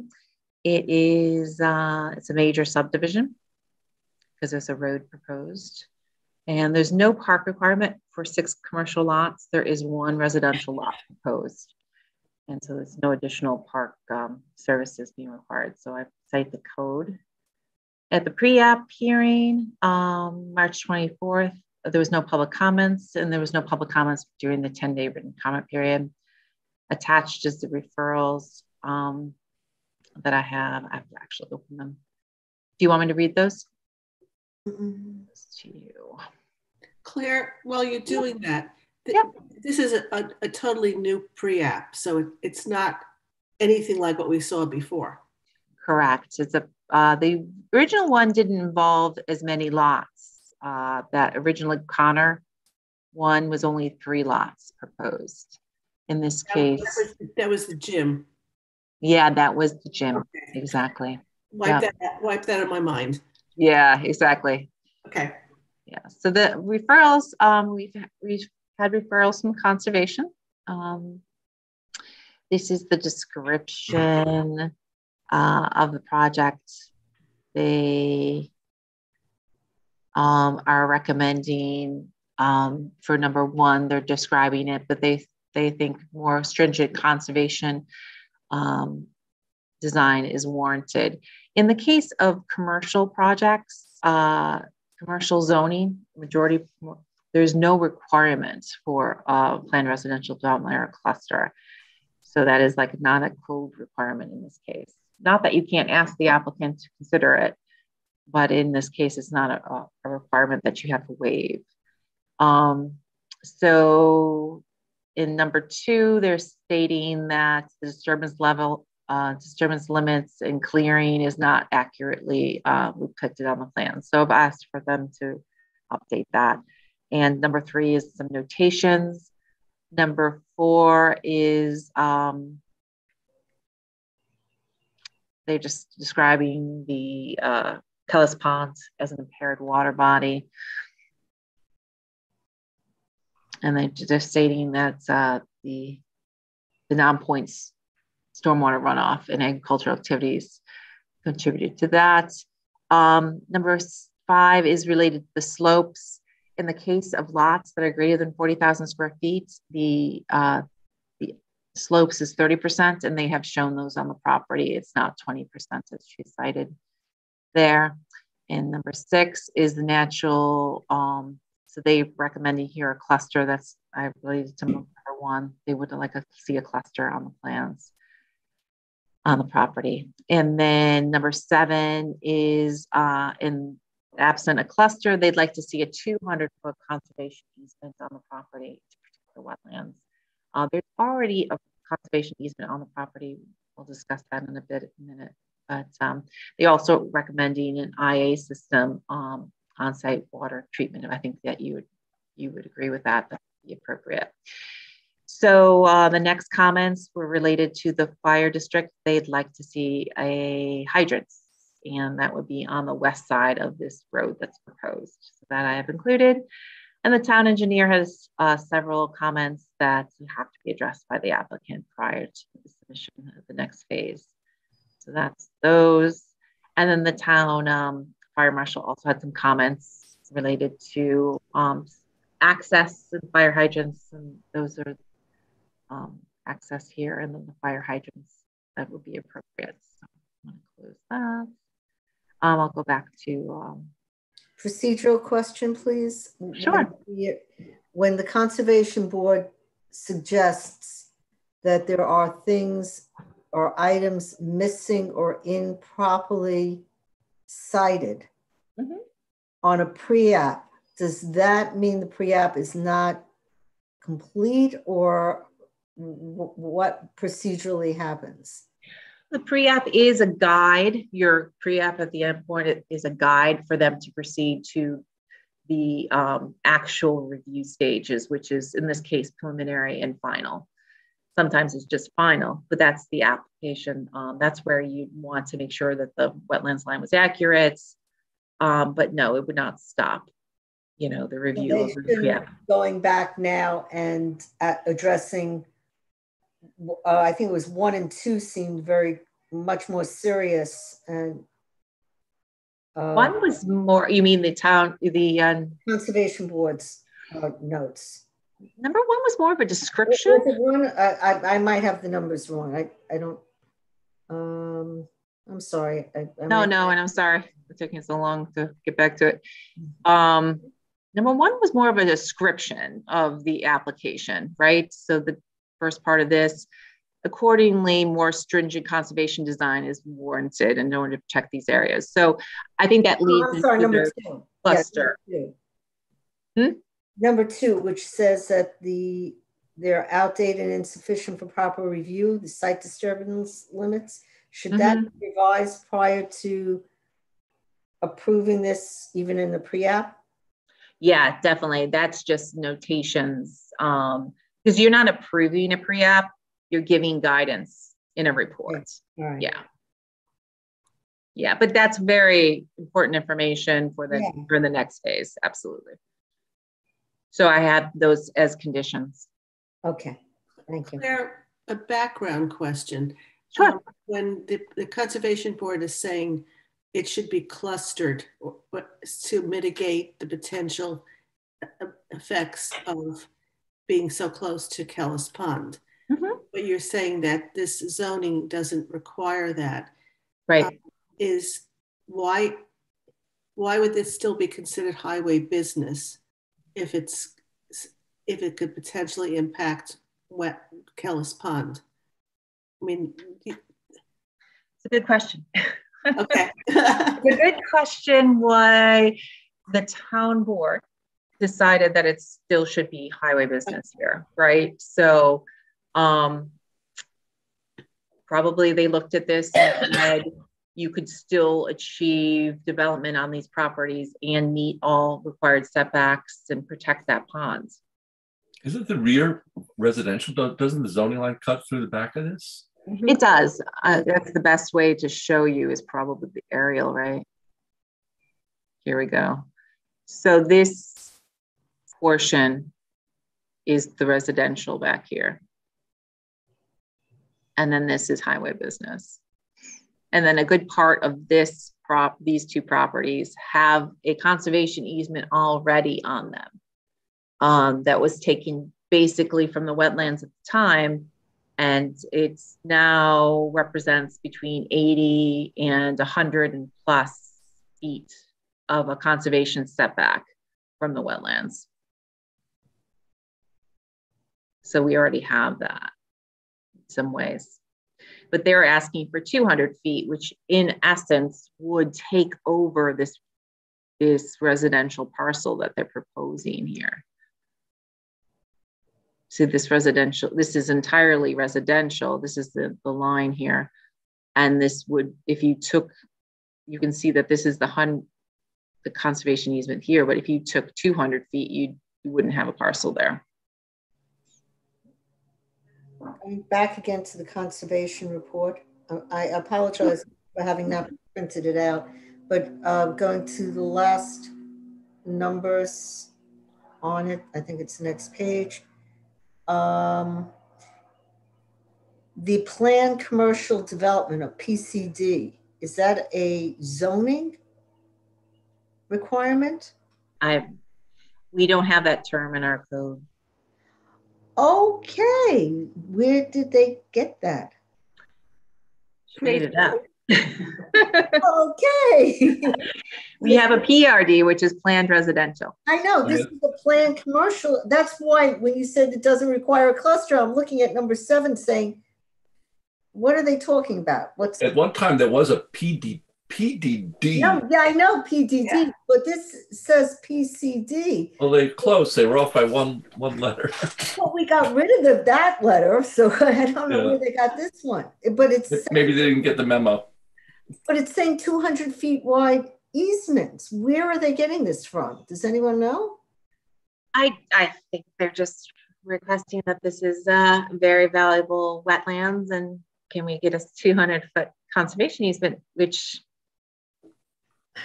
I don't, Can we just send a little note back to conservation saying, what? Uh, uh, because maybe they, I, because they use words, planned commercial development, and then put the parens and put the initials as if it exists. If it exists, it's maybe something we should look at. If it doesn't exist or it's something being proposed, maybe we should look at it, but I- we should find out. Conservation usually gives a good report. I mean, they usually. accurate, don't make yeah, up- usually accurate. Yep. yeah, they don't usually make up stuff. Can we just find out what they were inferring? Because that would be interesting. I can ask. Sure. Exactly. They offered further guidance, Robin. Yes, further guidance. Further guidance. So based on the referrals, which I thought were were good, um, there's there's definitely some issues here. Um, the applicant shall process shall proceed to the preliminary uh, subdivision application stage, uh, submission of yield and proposed subdivision plan. Number two is prior to deeming the preliminary application complete, SEQRA will be required to be completed. Issues include potential traffic from future development, impacts to wetlands, groundwater, archaeological, I said, et cetera. I don't know if you identified any others as we went through this. So I say to address the cluster um, is that the application does not include a PRD as a majority of the lots are non-residential and not required. Unless there is a PCD and we just don't know about it. Yes, exactly, exactly. So um, the number four and five talk about access, and uh, we'd want all these lots to be attached to each other and and have easements. Um, if they did not know their developments and this proceeded and received final, I'd suggest um, general future cross access uh, covenants um, in place to allow the parking and pedestrian easements to be developed in the future when you know the uses on the property. Um, that's number four. Number five is the curb cut. You know, if this continue, continues to be developed, oh no, is the proposed curb cut on um, the flag lot number six. This was an issue. I watched your meeting from the 24th, and uh, you had brought up this issue of the access to this. I think you'd want to have more information before you you said that this might be an access to access these properties. Um, what the design would be or where this location is, you know, in terms of how it lines up with maybe the um, the development to the north, those kinds of things. So I kind of say uh, the proposed curb cut on the proposed flag strip of lot number six will need to be studied. And then I further goes on that the Carvel lot, if if the Carvel lot is not redeveloped, the parcel's curb cut will be closed and access will be from another location. We don't want to leave that as like an open issue um, as development is happening around it. What do you think about that? Any comments? You And can then- close up a curb cut. That's great. Yeah, right. Claire, what happened to the whole Equinox complex that was? Mhm. I we know. Scope the No. whole, didn't we? Walked didn't we away. pause that? That's gone away, right? We, we, we spent many, many, many, many hours.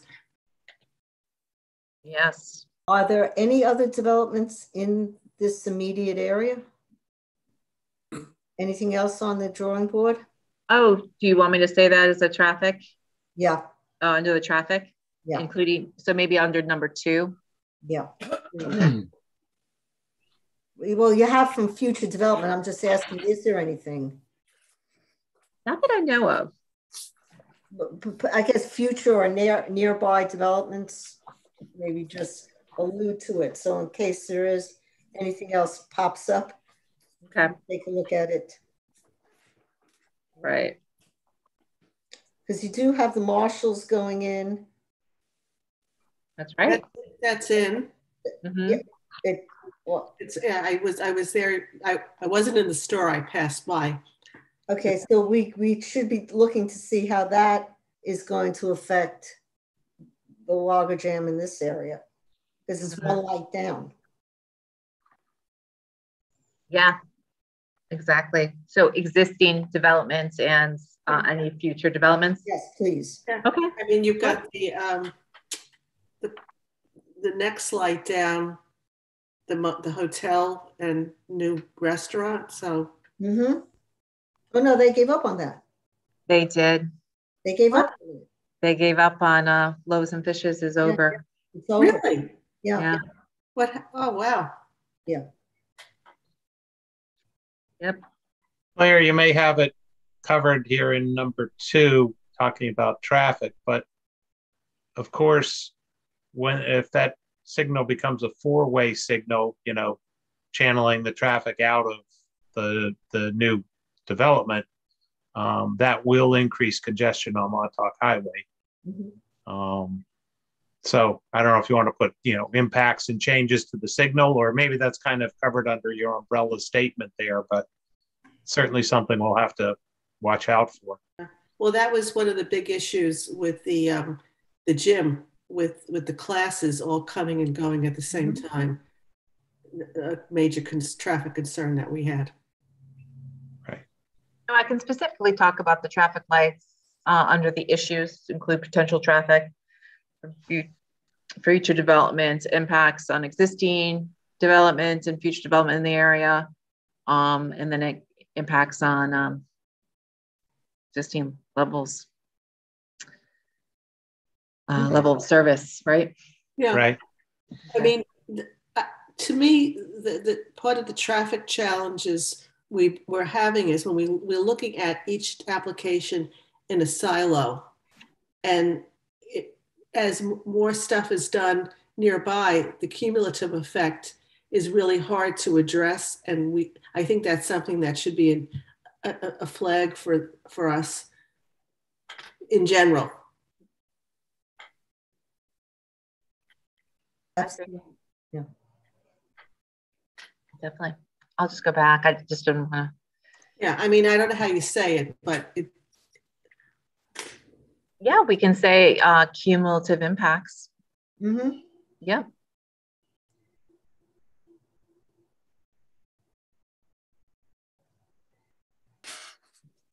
It'll be all under number two. Yes. Okay. Anything else before I go on? So um, we talked about five. Six is the IA system or connected to a sewage treatment plant. So there may be a big development here, so they need a sewage treatment plant. So I give the option. And this is just the, the labeling um, that the wetlands, the conservation had noticed, noted. And I just said if the wetlands uh, line is more than three years, they'd have to update that. Um, here's the 200 foot conservation easement from the wetlands line. Um, I, that's not typical in, in an application. Um, we could ask conservation for more information about why they're recommending the requirement, if you'd like. I just describe here the existing conservation easement on the property, so. uh, can we say something to the effect that we are concerned about um, this fairly large commercial development adjacent to a, an, an, an endangered wetlands? I mean, that's Uh-huh. just a general statement to sort of let the applicant know that you really better, you really should think about this. Okay. Large potential for, yeah, future development. So instead of maybe this, I'll say that. So the 200 foot, I'll state the planning board's concern with future development so close to um, I think just Pond. add, add another number. Okay. I wouldn't take anything out. You've you've done so much work on this. I I think each thing should be noted. Okay. Okay. Um, yeah, I'll add a new note about that. And then nine is note the existing development and clearing disturbance on the preliminary plat. That was your point, um, Robin. Mm-hmm. And so I'll add that. And the slopes, uh, the 30% slopes shown are in conformance with the town code. So that is app that's applicable. Um, the fire suppression, which is the hydrant, and compliance with the fire um, Department of Public Safety, which is the fire marshal, town engineer. He specifically references that the bus shelter will be relocated, so yet added. And then I'm sorry, number 14 is preliminary stage, but I say that at the beginning so I can omit number 14. There'll be a new number 14, which is the planning board's concern about pol- policy comments. Any other questions from the board? For your consideration of adopting the pre-app report, the applicant's representative is here. He's uh, from Areas Design. I'm sorry, Steve, if you wanted to speak on the application. Any comments from the applicant? Uh, no, we, we're reviewing the, the comments we just we received as well. Uh, no, no comments right now. I think you know, Claire covered everything. Uh, we will note that we we did uh, update the wetland flagging um, last year, and and uh, the environmental division did go out and confirm the flagging. Um, so that was done, and we've gotten updated surveys, uh, new new topography or updated topography. Uh, but we'll just we're going through the report and um, addressing the items. Could could you just state your name just for the? Oh, I'm sorry, Steve Naroda with Aris Design. Okay, great. So our action then is to adopt the pre the pre Yes, as amended. As Yep. amended. Very good. Do we have a motion? Motion. Motion by Gloria, second by George. All in favor? Aye. Aye. Opposed? Abstentions? We have six yes. Thank you. Thank you. So in this case, see who I got here.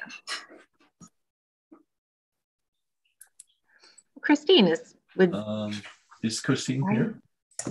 would Brian Egan want to I'm come? here. Sure. Would Wayne, he? Wayne, it's Um, actually Wayne. Oaks? Wayne is here too. Wayne is here? Okay, Yep. so if you could let Wayne Bruyn in, And Charles Brian. and Brian Egan. And um, just while they're they're coming in, Good. um, I think they can hear us anyway. I was able um, to speak with Brian. Um, uh, Dennis, if you want me to go through the board with Yeah. the conversations I've had. So Sure. um, I had spoken to um, Jackie uh, during the week. Um, so just to fill the board in, and if you recall, uh, Wayne's client was asking for relief from a covenant restriction that was put in place by the planning board back in the 80s, I think it was. Um, and it was before incorporation of Sagaponack Village. They later incorporated. Um, we also changed the restrictions um, and have been allowing outside the village, but inside the town, um, accommodations to relieve the covenants from a 25% to 35% um, in terms of clearing. And uh, Wayne's client was trying to sell a piece of property, and one of these old planning board covenants came up on a piece within the village of Sagaponack. So, since we were the authorizing board of the um, initial covenant, the relief request came to us. Um, we kind of felt like it really now is within the jurisdiction of Sagaponack. They have adopted all other of our zoning regulations. If they want an APOD and those restrictions, they are free to do that. They have not chosen to do that um, and suggested that um, maybe we confer with them whether and how they felt about relief of this covenant. Um, in that, in the interim, um, we did hear from several people who um, were uh, both in opposition to the covenant and um, some that were uh, for it. Um, we sent the letter, we sent the request, a referral over to Sag, um, Sagaponack Village. They um, gave us a letter that we required clarification on. They came back and said, in the end, we're good if you want to do the 35%. Which I think we can all appreciate. However, puts us, was my feeling uh, as a board, in the position where we were taking on um, maintaining the covenant, but really enforcement becomes then an issue and a legal um, issue for us to have to grapple with and deal with um, should there be anything that we have to go and enforce on. So I suggested that we um, were, as a courtesy extended to the Sagaponack Village, we would be happy to keep um, the clearing restriction. We would put it at 35 as they suggested. Um, and in light of that, we would then um, agree with the Sagaponack Village that they would have a third party right of enforcement such that if enforcement became an issue, it wouldn't be on us to have to go and then argue whether or not we had jurisdiction to do this. Um, I believe Wayne's client is already at 34% and doesn't have a problem with the 35%, um, but didn't want to be held up by us trying to wrangle this out with the village. I have been able to speak with Brian Egan. I don't know if he wants to come on here, but I spoke to him before, um, and he's he understood um, where I was coming from, um, as he understood also where Wayne was coming from, and said that he felt that the village would have no problem um, taking on a third party right of enforcement, as they didn't, um, they weren't poised to adopt any of those zoning regulations on their own um, but certainly appreciated that we were doing 35% and they would be happy to do that. So my suggestion would be as to not hold up Wayne's client if the board is so inclined, um, if we would grant his client's uh, request for an amendment up to the 35%, uh, make it conditional upon an agreement between um, the village and the town entering into um, an IMA, an MOU, however you want to do it, um, for a, an enforcement, uh, third party right of enforcement, and Mr. Egan is agreeable to that. Wayne, is that clear or no? Um, number one, um, I do also had a conversation with Brian, and, and, and that's why I forwarded him this link and, and asked him perhaps to attend to maybe clarify that because um, he's here. Right. So I'll let Brian speak for himself. He's but not in though. Yeah, I don't see him on the screen. He's not here, here. He's in the attendees. He's an attendee. He's on my screen. I spoke with him right before at 12, yeah. I think. So, I'm not quite sure it's um, available. So our client's position is they understand and so my client purchased the lot with this covenant. It was a vacant lot, got a building permit last early last fall we made this request October 4th, some seven months ago, and we're, we're here waiting. Our client is, is nearing completion. He wants to be able to sell this new house uh, and not have the question rise with a new buyer as to whether it's 25% or 35%. Um, and we'd like to proceed. As, as far as enforcement is concerned, and I provided this question and did a lot of research on this and consulted many municipal attorneys. And, you know, the authority for the village and the town comes from the state law and, and it, it, it only comes from the state law as far as what, how and where and what you can do. And there is a significant question of whether or not the town can delegate or force us to um, get into an agreement whereby we're the only parcel in the village of Sagaponack that would allow enfor- the village's enforcement of that covenant.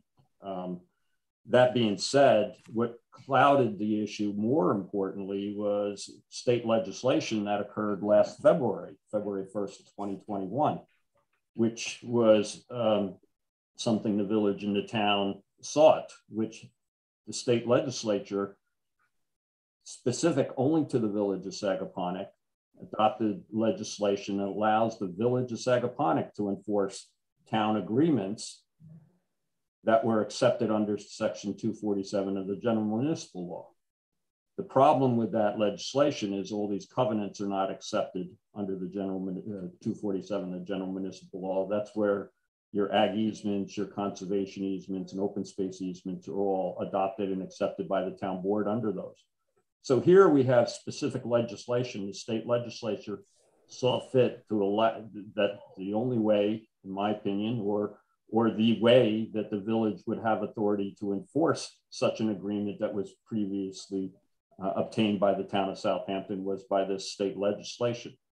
Um, what we're opposed to is, is what Christine is suggesting here is this whole amendment is conditioned on the village and the town doing something. And the problem I have with that is number one, they may never do anything.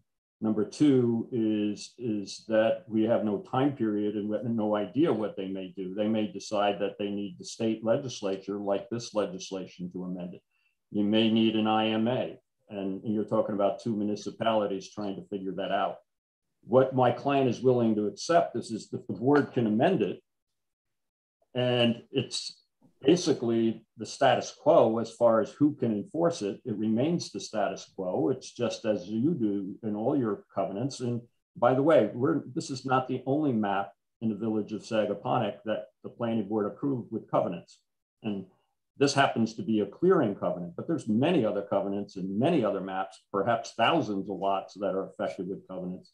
No further subdivision, underground utilities, common driveways, all of which currently the village of Sagaponack has no authority to enforce, but the town of Southampton does with an action in Supreme Court. So I, I think the point is, and I appreciate the issue, but really our client is doesn't want to be hamstrung with this what could be a political issue between the village and, and the town as to how and where and when. But if we could maintain the status quo whereby the covenant right now can only be enforced by the town board with an action in Supreme Court. That would remain. It just would be with the amendment, which is consistent with every other amendment you've done for similar clearing requirements. So that's, I would agree with what Christine says. Let's, if, if possible, adopt the resolution today that allows the amendment to 30 from 35%, uh, from 25% to the 35%. And let the town board and the village of Sagaponack Board of Trustees figure out how and where not only this covenant, but all the covenants everywhere in the village could perhaps be enforced by the village of Sagaponack. So, and I, can if I could, I, I appreciate um, Wayne's position. I mean, but we could, and I've, I've spoken to Brian, we, we both feel that our boards would be amenable to entering into it, whether it is this one covenant in terms of clearing restrictions, or we do with all clearing restrictions. Because quite frankly, I think it's an unfair burden that you would be placing on the town of Southampton to have to go to the board to have to start a litigation to go through an entire litigative process to try and figure out if we can enforce something when we can right now have you uh, the Sagaponack Village take over the enforcement angle of this. And we can do that by resolution on May 24th. And we can certainly put language in the conditions of approval that say, since this is a condition, that it puts the onus on us because we have every incentive to move on this. We do not want to be hamstrung with these enforcements. To puts the onus on us to have to move diligently to obtain such approval of an MOU or an IMA, however Brian and I think is best to proceed within, you know, 30 days, within 45 days. Otherwise, you're relieved of it. But I think it's unfair to ask the board to take on the burden of having the enforcement of this and the legal responsibility that goes along with that without allowing them to be able to work with the village as they should. Well, Christine, couldn't we, couldn't we draft instead of making it contingent upon that the IMA or whatever mechanism you envision, couldn't couldn't we uh, incorporate language that that um, allows or contemplates enforcement without specifically stating we're not, you know, I don't know. I think this. I'm feeling this is beyond, you know, the scope of our board, and also it, it, it holds up. Not, it's not beyond the scope of your board, but it is beyond the scope of Wayne's client. I mean, this has other implication for this board for all of any of these lots that want to come and ask the same thing of you. We're going to have the same thing. So, I mean, certainly this board and the town has the incentive to resolve this as quickly as possible such that this does not become a continuing discussion that we have to have because Wayne's client, you know, raises the issue, but it, you know, it's got far more reaching implications than just his client. So you just have to keep that in mind. And it's well who's, beyond. Who's enforcing it now? I just want to make sure you understand that it's every covenant not just clearing covenant. We would probably do exactly, it's going to be a litigative process because right now it's within the village. So we would have to assert enforcement. Somebody would probably object to that and it would become a litigated process that at our expense or the Southampton taxpayers expense that we would have to do for something that the village is asking us to do if if they have a genuine interest and my understanding is they do they'd like to see the clearing restriction at 35% then and they are willing to take over the enforcement of that. They understand that, and it appears as though they're willing to do that. If that changes, then you know, then we'll have the language in there that relieves you from that. But right now, we have every incentive to move expeditiously to resolve this. So, Christine, before did you, did I hear you mention some sort of um, time provision or sunsetting provision? Yeah, I mean, is it if this is how we're anticipating it going, which uh, I think Brian and I, I wish uh, you know, I hate speaking for him, but I'm assuming he will raise his hand and say if I'm saying anything incorrectly. But if we're both feeling as though our boards are going to be amenable to this, I, I mean, I can be on the next um, work session um, and, and speak to my board, and then we can have a resolution for their next town board meeting. And I am assuming that Brian would be able to do the same. So you're envisioning like a 90 day provision? Is that do you think that's? I, I was thinking like 30 days, but if you want to split the baby and do 45, I'm good with that too. However you want to do it. Wayne, I, we're, we have incentive. If we I can't like follow 30 through, days. 30 days. I'm shocked. you so, Claire, are you picking all this up? Write notes. You're gonna have to. Roger, what's the matter? You're gonna have to work What's with wrong? Christine on the language, but Yep. we're envisioning uh, amending the covenant to 35 percent Yep. with the uh, with the uh, 30 day window to enter into an intermunicipality agreement for enforcement. That's Seven days. what I'm hearing. I- I'm I'm really having specific language. with this because it sounds like we're legislating on the revision of a covenant. And I'm really having a problem. What do you mean?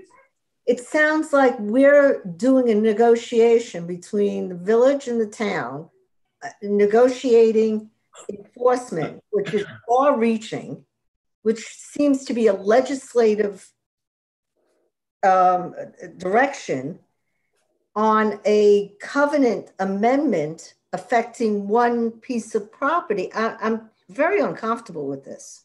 Tell me. So tell me what is making you uncomfortable because It's it's, like- enforcement's not legislation. So that's the first thing. But if if if you have a group of um, you have a group of properties potentially that could come in. You could say you have 30 properties that could come in. We all know that the planning board did this, but they did it before there was an incorporation. Since Correct. that time, Sagaponack adopted all our zoning codes and all our provisions, except for the APOD, which is where we got these clearing restrictions from, which is why they were put Okay, as stop- conditions. Stopping right there for a second, Christine. Forgetting about the APOD, are, are- is Sagaponack enforcing their own zoning? They're, Wayne, you shook your head both ways. You can't do that to me. No, I, I thought you were going to say, or do they have clearing? They do not, but they do have their own zoning regulations. So they have their own zoning and they're enforcing their own zoning. Okay, so we don't have to worry about that. Correct. I mean, what other, what other covenants or types of covenants were you concerned about? You said there's hundreds of other covenants. The same clearing restrictions. just clearing restriction. Those are the ones that we're That's worried about. If, if I may, it- the only one we've asked to amend, but there are several other clauses in these declaration of covenants. And not only this map, but every map that was approved by the town planning board probably that is, it lies in the village of Sagaponack. We've got to remember that enforcement of a covenant is not a code enforcement issue. Mhm. Enforcement of a covenant is, requires the town board to authorize litigation in Supreme Court. That's currently the way it is, and that's the pro- part of the problem here is the town board would be asked to bring litigation for enforcing a covenant in the village of Sagaponack. That being said, that's the part of delegation that is problematic, and I believe that's why the state legislature did what they did with the conservation easements. Um, that being said, I don't know, and, and it isn't a common practice, and, and I think there may be the opportunity for municipalities to talk about, um, you know, uh, agreements between the municipalities, but again, that is the town board with the village board. Um, so I, I just think it's, if you amend the covenant, it remains enforceable by the town, just like the current covenant and just like everybody else's covenants throughout the village. Um, they can only be enforced by the town. So why single out my one lot owner to be contingent on this and, and his title to continue to be uh, you know, uh, marred, or better yet, I guess the question is what happens if this is going to be a sunset? So the town board and the village has 30 days to enact either this intermunicipal agreement or whatever legislation is necessary to allow them to uh, the village to enforce covenants. If not, it's just going to be the 35% as the typical amendment. Is that what and it's to and it's to enforce the clearing restrictions. Right. And we can do it a blanket because I think as it pertains to this board in particular, their main focus was the fact that you're the right. Sagaponack has its own um, provisions, but they don't have clearing restrictions. And that's something this board has deeply been involved with and championed in terms of water quality protection and the rest of it. So that was there. And they felt like they were doing a courtesy and getting the input of the village since it's within their village boundaries what they wanted they wanted to keep this and the village is very aware of the uh, what comes along with having to litigate and and the, necessity of that perhaps. And so they were also willing to bear their responsibility in taking enforcement should it become an issue. See, Robin, in effect, we're side, we're sidestepping the whole enforcement issue. We're just basically putting our plan, planning blinders on and and adopting a resolution that we do have done dozens and dozens of times, bringing the older covenant into the I know, uh, but you're putting a you're putting a condition on this on this. We're just stating, this is in the village. We don't usually do them in the village. Yeah, that's but I'm saying them outside the village. I it, it's not Dennis. Just it's not a condition. It is if the town and the village do not come to either a memo of understanding. Then it's status quo. Then it's status quo. Then it's thirty five percent. So it's really not. It's thirty five percent either way. Either we come to a conclusion it's just a matter of whether or not we share the responsibility in enforcement. and Wayne's client, sorry.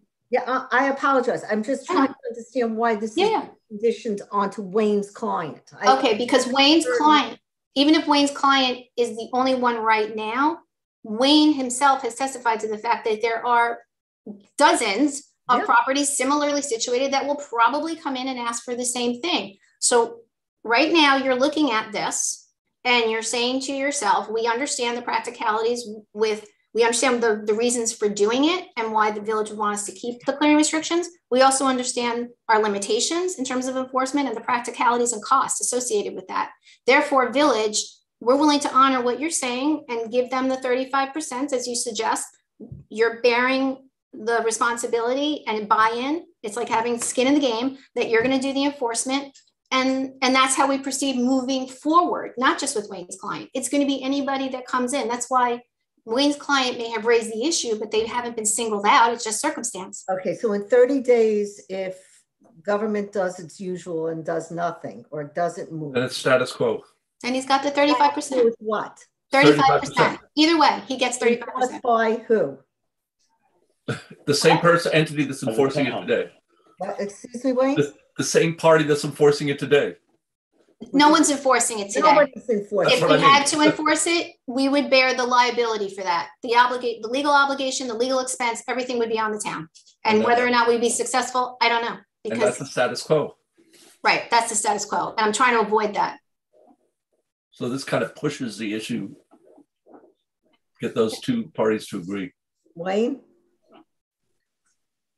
I, I, I I agree with what Robin is trying to say. It's really I'm not sure. a position on my client because if it, it, you just want to acknowledge that you're going to try it in 30 days because at the end of the 30 days, I get 35%. And, and if the town doesn't do anything, I get 35% no matter what. So it's really not a condition.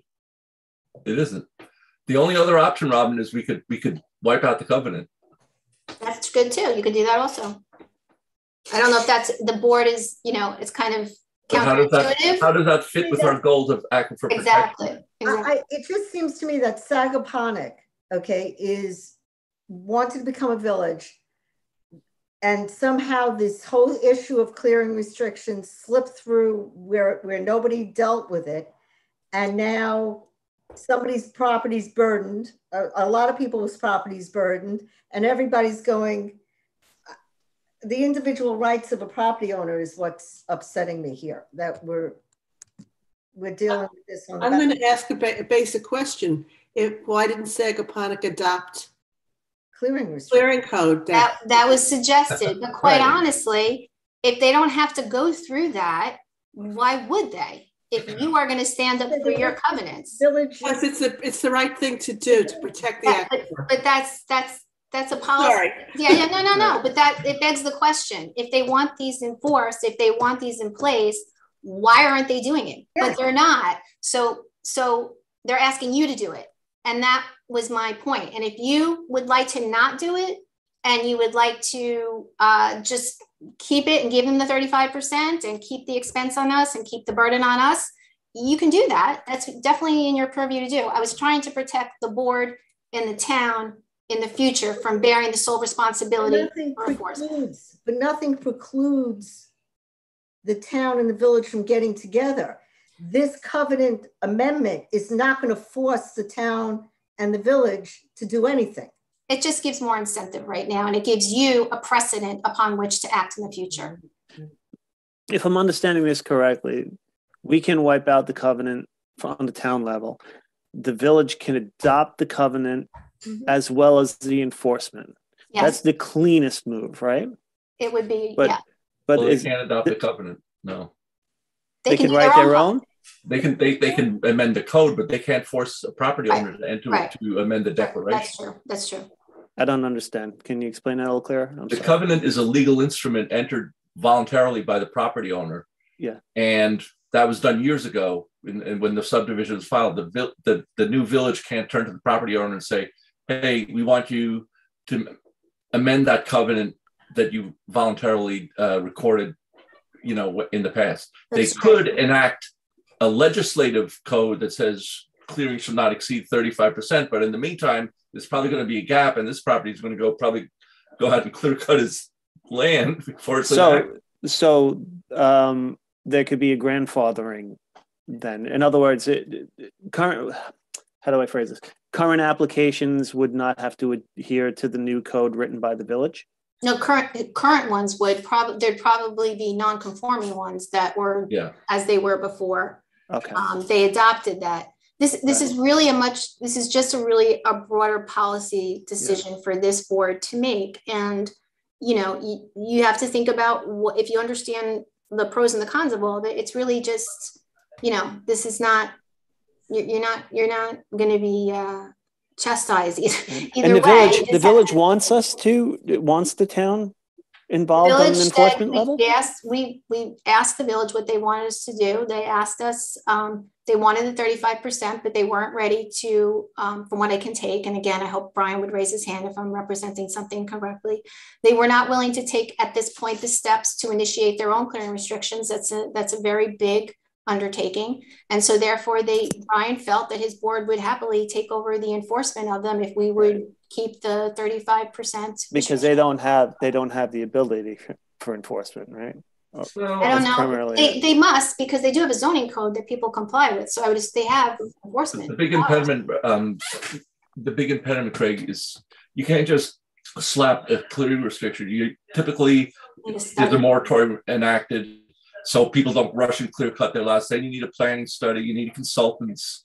It's, it's a six, eight Right. month process, maybe even longer. So that's so it's our up- i mean it's our goal as the board to protect the covenant because we want to protect the apod obviously right Yeah.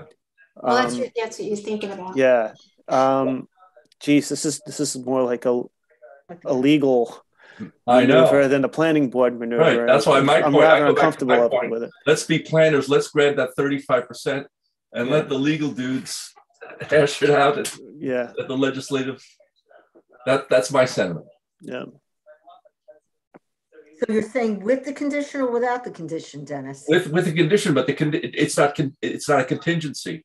If they w- w- it, it, it's it doesn't hold up the process. They get thirty days, and that puts the onus on the legis on the town and the village to get together and and and formalize that mechanism. And if they don't, we're, we're still where we're at. It we're with at least a better covenant, thirty five percent, as opposed to no covenant. Yeah, I think that's, that's cutting the baby in half, but it hopefully it won't hurt. we were trying to be fair. We were trying to, you know, work together to come up with some resolve. It really kind of got everybody where they needed to be without overburdening, you know, you all basically as the planning board assuming all the responsibility for this when the village has skin in the game now.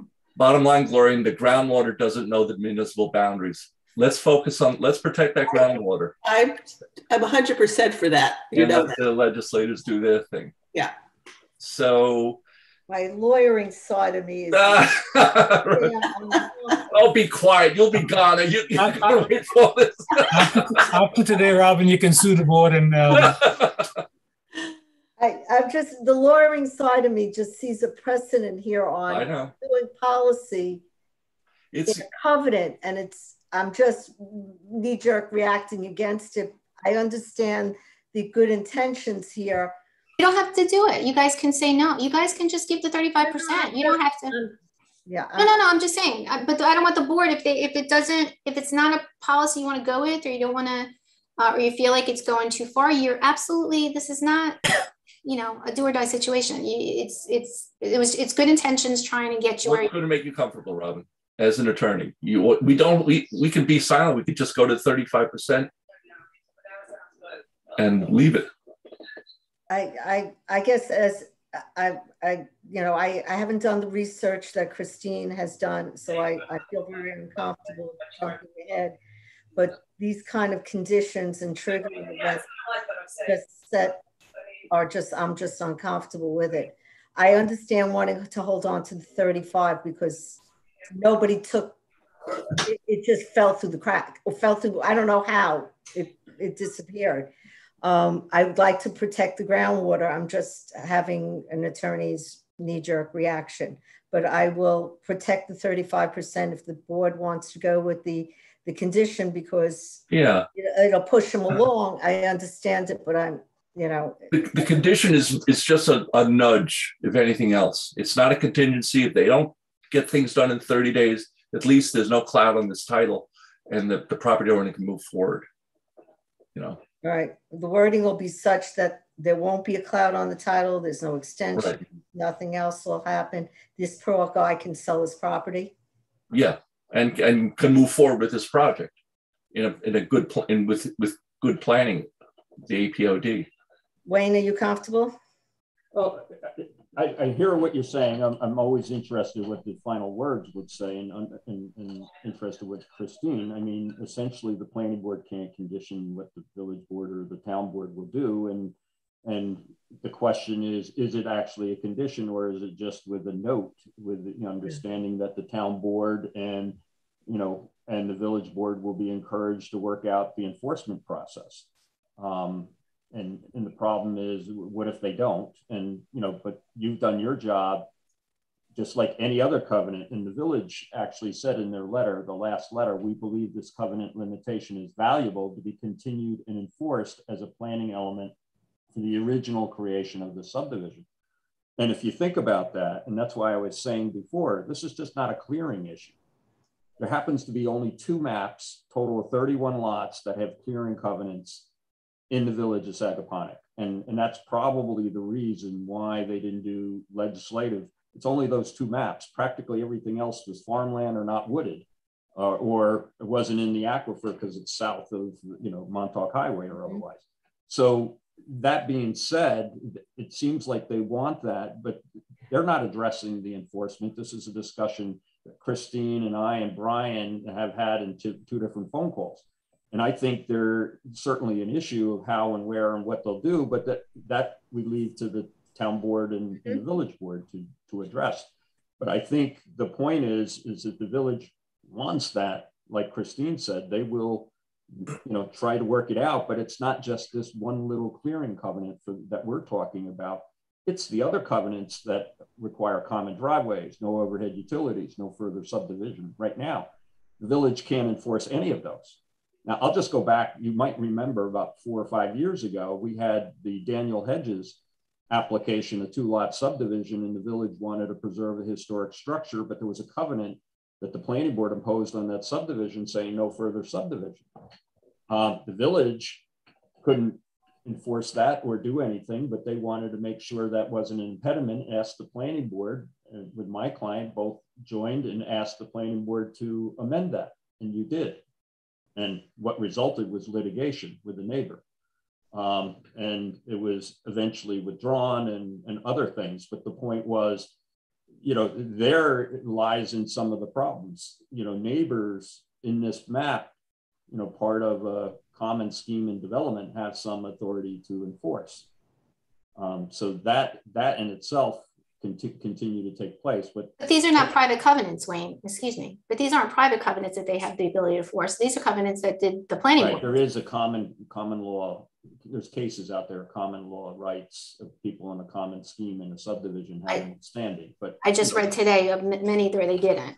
Yeah, so there, yeah, I read other cases, so that it's up in the air. But the point is, is you know, how how this gets enforced again we got to be reminded it's a supreme court action whether the village does it or the, the others do it. This is not building inspectors not code enforcement or otherwise. Um, uh, my client you know just wants to clarify it. He's willing to accept the 35% has designed his project based on 35% um, and you know if we can amend it and, and that way it clears up his title and that's consistent what you've done with every other map, you know, 60,000 square foot lots with 35% clearing. That's consistent. And, and you're carrying over that aquifer protection overlay district policy, even though it carries over into the village because it seems the village wants to keep that intact and they're willing to allow you to go to 35. So I, I just have problems that it's being characterized as a condition that the town board and the village board have to do something. So, so I, I, I agree. And, and in deferring to Robin, Christine, I think the cleanest way is just to do our simple standard covenant amendment. You can do it. I think Robin will be happier.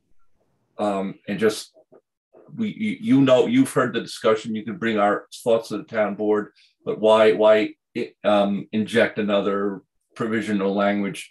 Um, it just clouds the whole process let's I would say let's just do our standard 35% right robin? And then I, I, I feel more comfortable for, on behalf of, of, of, and then we know the aquifer is protected and we've done our planning job and and then it's up to the village and the town to clean this Yeah. up. I think that's a christine unless you had an objection that's probably the sentiment of the board. I, I can't object.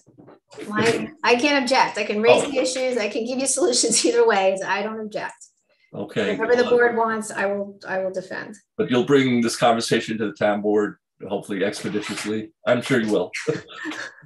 It's not only this one it's all the other lots there. Wait till the next one comes. We'll wait till the next one. Uh, claire what say you? One of our What would you like to do? Do you want to do one of three our minutes? generic standard cut and paste?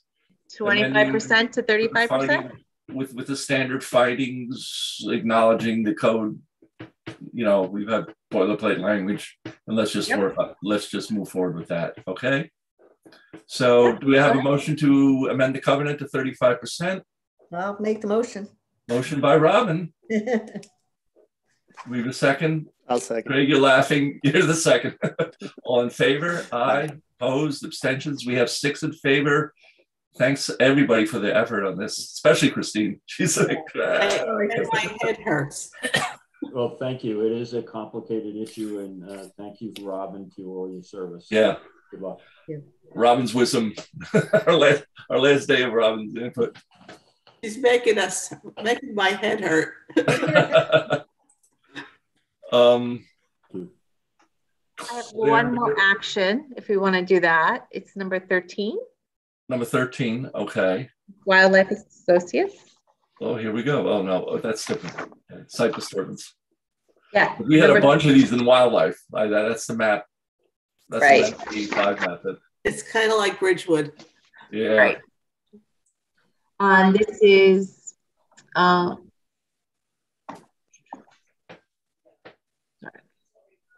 and this is the revegetation plan. Um, on this, so this would be to adopt, uh, where the revegetation is done. It's a standard language. Okay. Do we need to see the? It's just a, a re-veg standard. Oh, yeah, sorry. I thought I was showing you, and I wasn't. Here you go. Ah, there it is. My head hurts. What's yours? Lovely. So this is the revegetation plan. It's definitely in order and uh, um, that's the percentage shown. So that's to take them back to the 50%. Okay.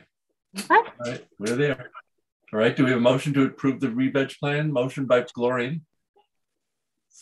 We have a second, second by George. All in favor? I have Aye. to- Opposed? John, abstentions? I have to recuse on this one, please. Okay, then we have um, four yes, one absent, one recusal. Is that correct? Two absent. Two absent. Sorry. Wait. Two absent, one recusal. Four yes. Right. And then just acknowledge. Uh, There, you're acknowledging the signature. subject. Yep. I, that's item 22. We're acknowledging that was signed. That was signed. Yeah. I thought you had some other. Oh, Anthony's. Um, That was from, la- yeah, that was from last meeting. It's not on the agenda, but I did go into town yesterday and signed it. Yeah, we're good. Okay. Is Anthony here or with Yes, us? he Yeah, is. there he is. There I am.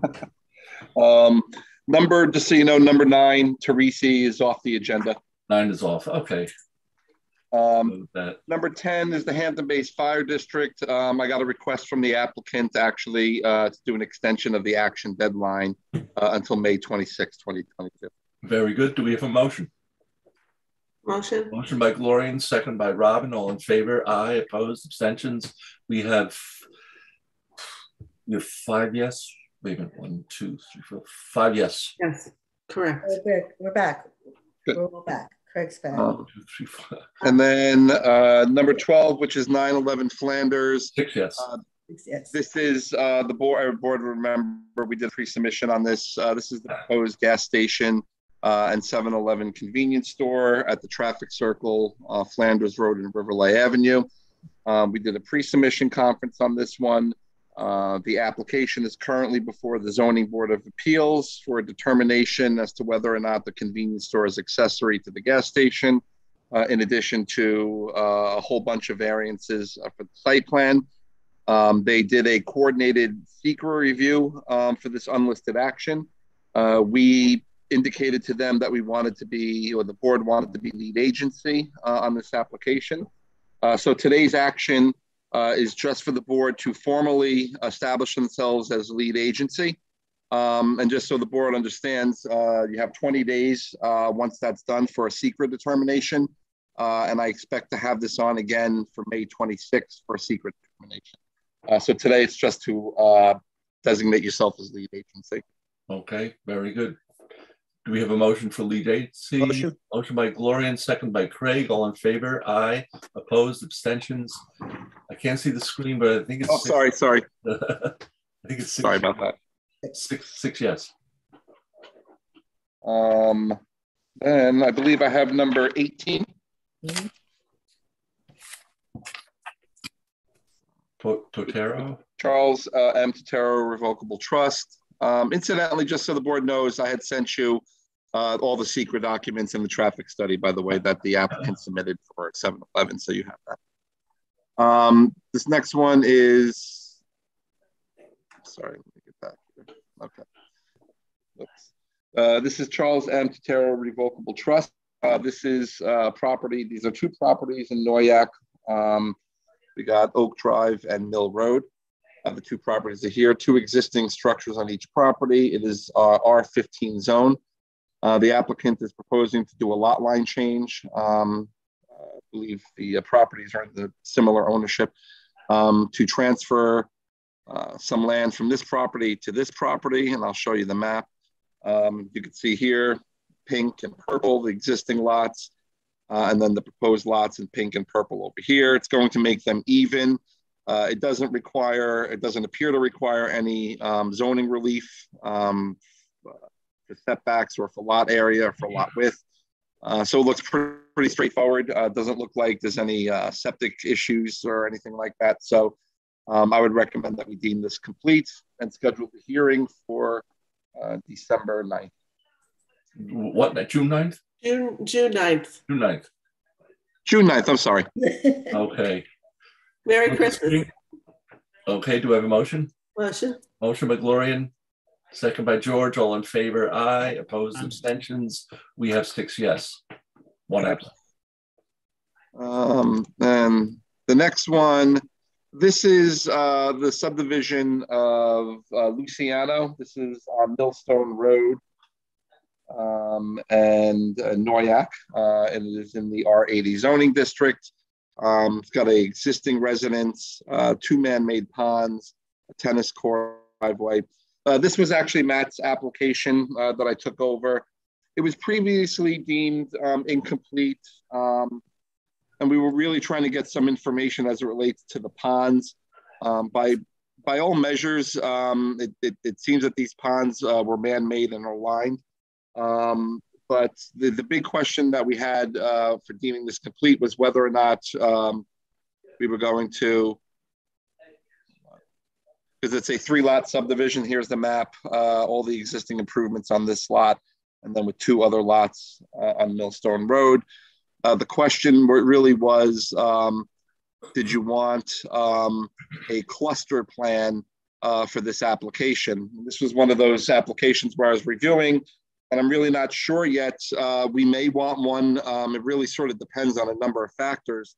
Um, most notable is really what the Environment Division is going to say. Um, once we get a complete application, um, then we refer it out to the other agencies. Uh, so this happened to be one of those subdivisions where uh, we may want a cluster plan, um, or um, depending on because um, right now this whole lot here takes most of the improvements. Or if we could accomplish what we want here uh, with easements, uh, conservation easements. Um, so what I was going to suggest in this particular case um, was that we deem the application complete schedule uh, for December 9th. Uh, and then let's see what we get out of the town engineer and the conservation board uh, and then if, if a, a, cluster plan is warranted in this case, uh, we would recommend it in the pre-application report uh, that they would have to do. Anthony, it looks like the, the lot, um, the one on, I'm going to call it the left, um, has a lot of clearing from the existing driveway to the existing house. Um, what's that going to do for the for the ability for a, a, place to put the house and is it going to be over cleared? I'm, I'm assuming this is in, in the APOD. It is in the APOD. So um, the, the, that issue will be uh, have to be addressed. In other words, uh, as part of the pre-application report, I'll do an analysis of the clearing associated with each lot, mm-hmm. uh, how much they're allowed, um, if it's going to require e- any revegetation.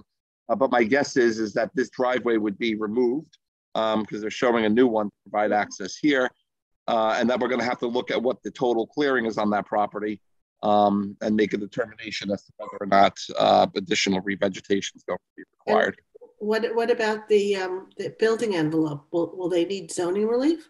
It seems like it's a pretty narrow piece of property. Um, it, it, it looks narrow, but uh, it's uh, believe it or not. Um, here, let me just go back. It's actually a pretty big preset property. It's actually in the two acre zone. Um, so uh, you know this this looks like an area where we would be, as you could see, um, just to the south, we're in the five acre zone. Mm-hmm. Um, so you'll find that a lot of the lots in the area are larger uh, than two acres. Uh, but the the we will ask for a building uh, permit.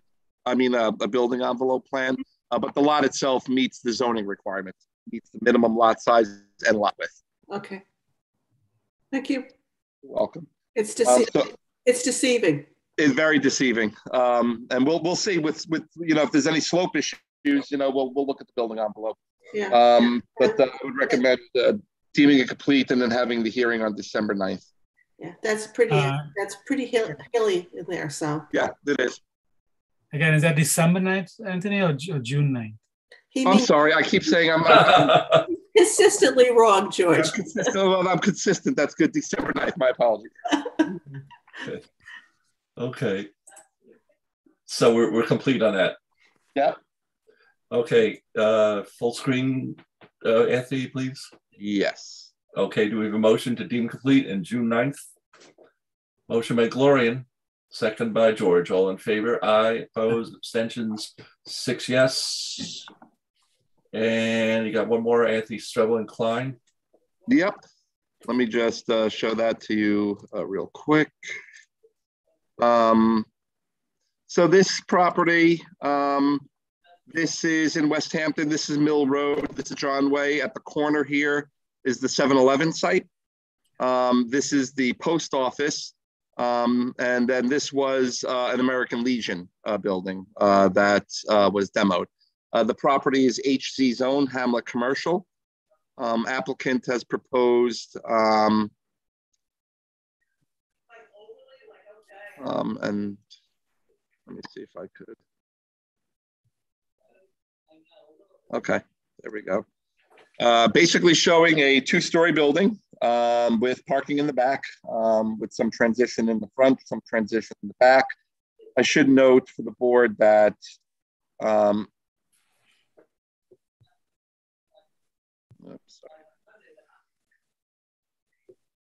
So all this land surrounding the property is owned by the town. It's preserved land. Uh, it's residentially zoned, but it is it is preserved land. Um, so they're proposing um, two-story building. Um, actually pretty attractive looking. Um, it's going to be a two-story uh, building, office building, uh, with uh, one apartment on the second floor. Um, as of right now, we're looking at um, a total of 4,000 square feet. So if you remember in the HC zoning district, you're allowed a building up to 3,000 square feet. Um, and then for every thousand uh, square feet over the 3,000 square feet, you have to provide one uh, accessory apartment. In this case, the first and second floor total 4,000 square feet. So they're required to provide one uh, accessory apartment, uh, which is part of the plan here. Uh, so uh, first floor office space, some office space on the second floor, and a accessory apartment. Um, so it's just. IA system?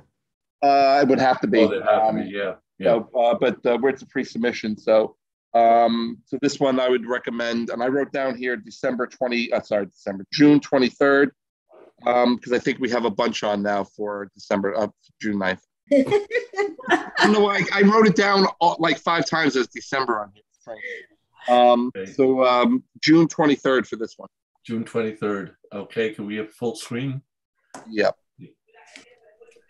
Do we have a motion then for be completeness for June twenty-third? Motion. Motion by Gloria and second by Tom. All in favor? Aye. Opposed? Aye. Abstentions? We have six yes. And just real quick, Dennis, um, I uh, just to acknowledge 148 Priscilla, um, uh, Glorian uh, did sign the maps. Okay, that's an add-on for That's an add-on. map signature, uh, one forty-eight Priscilla. We were acknowledging um, that it was uh, I signed it. signed it. Okay, great. And we're back at seven. Uh, we only have two on tonight, so it should be quick, pretty quick. Yep, I'll be here. So Great. Thank you. Do we have a motion to, oh, do we have a motion to? Robin? Did we? I'm tonight? sorry. Did we do? Did we do 13 Wildlife Associates? Thirteen. Or was that taken off the agenda? We, uh, we did. We did it. The revenge, that was a revenge, right? That was, that was, a- the yeah, the re-veg. Yeah. That's a revenge. Gotcha. So Sorry. we have a motion to adjourn by Robin, Second. second by Gloria, and we'll see you at seven o'clock. See you at seven. See you guys. Yes, Bye. everybody. Thank you all. Right.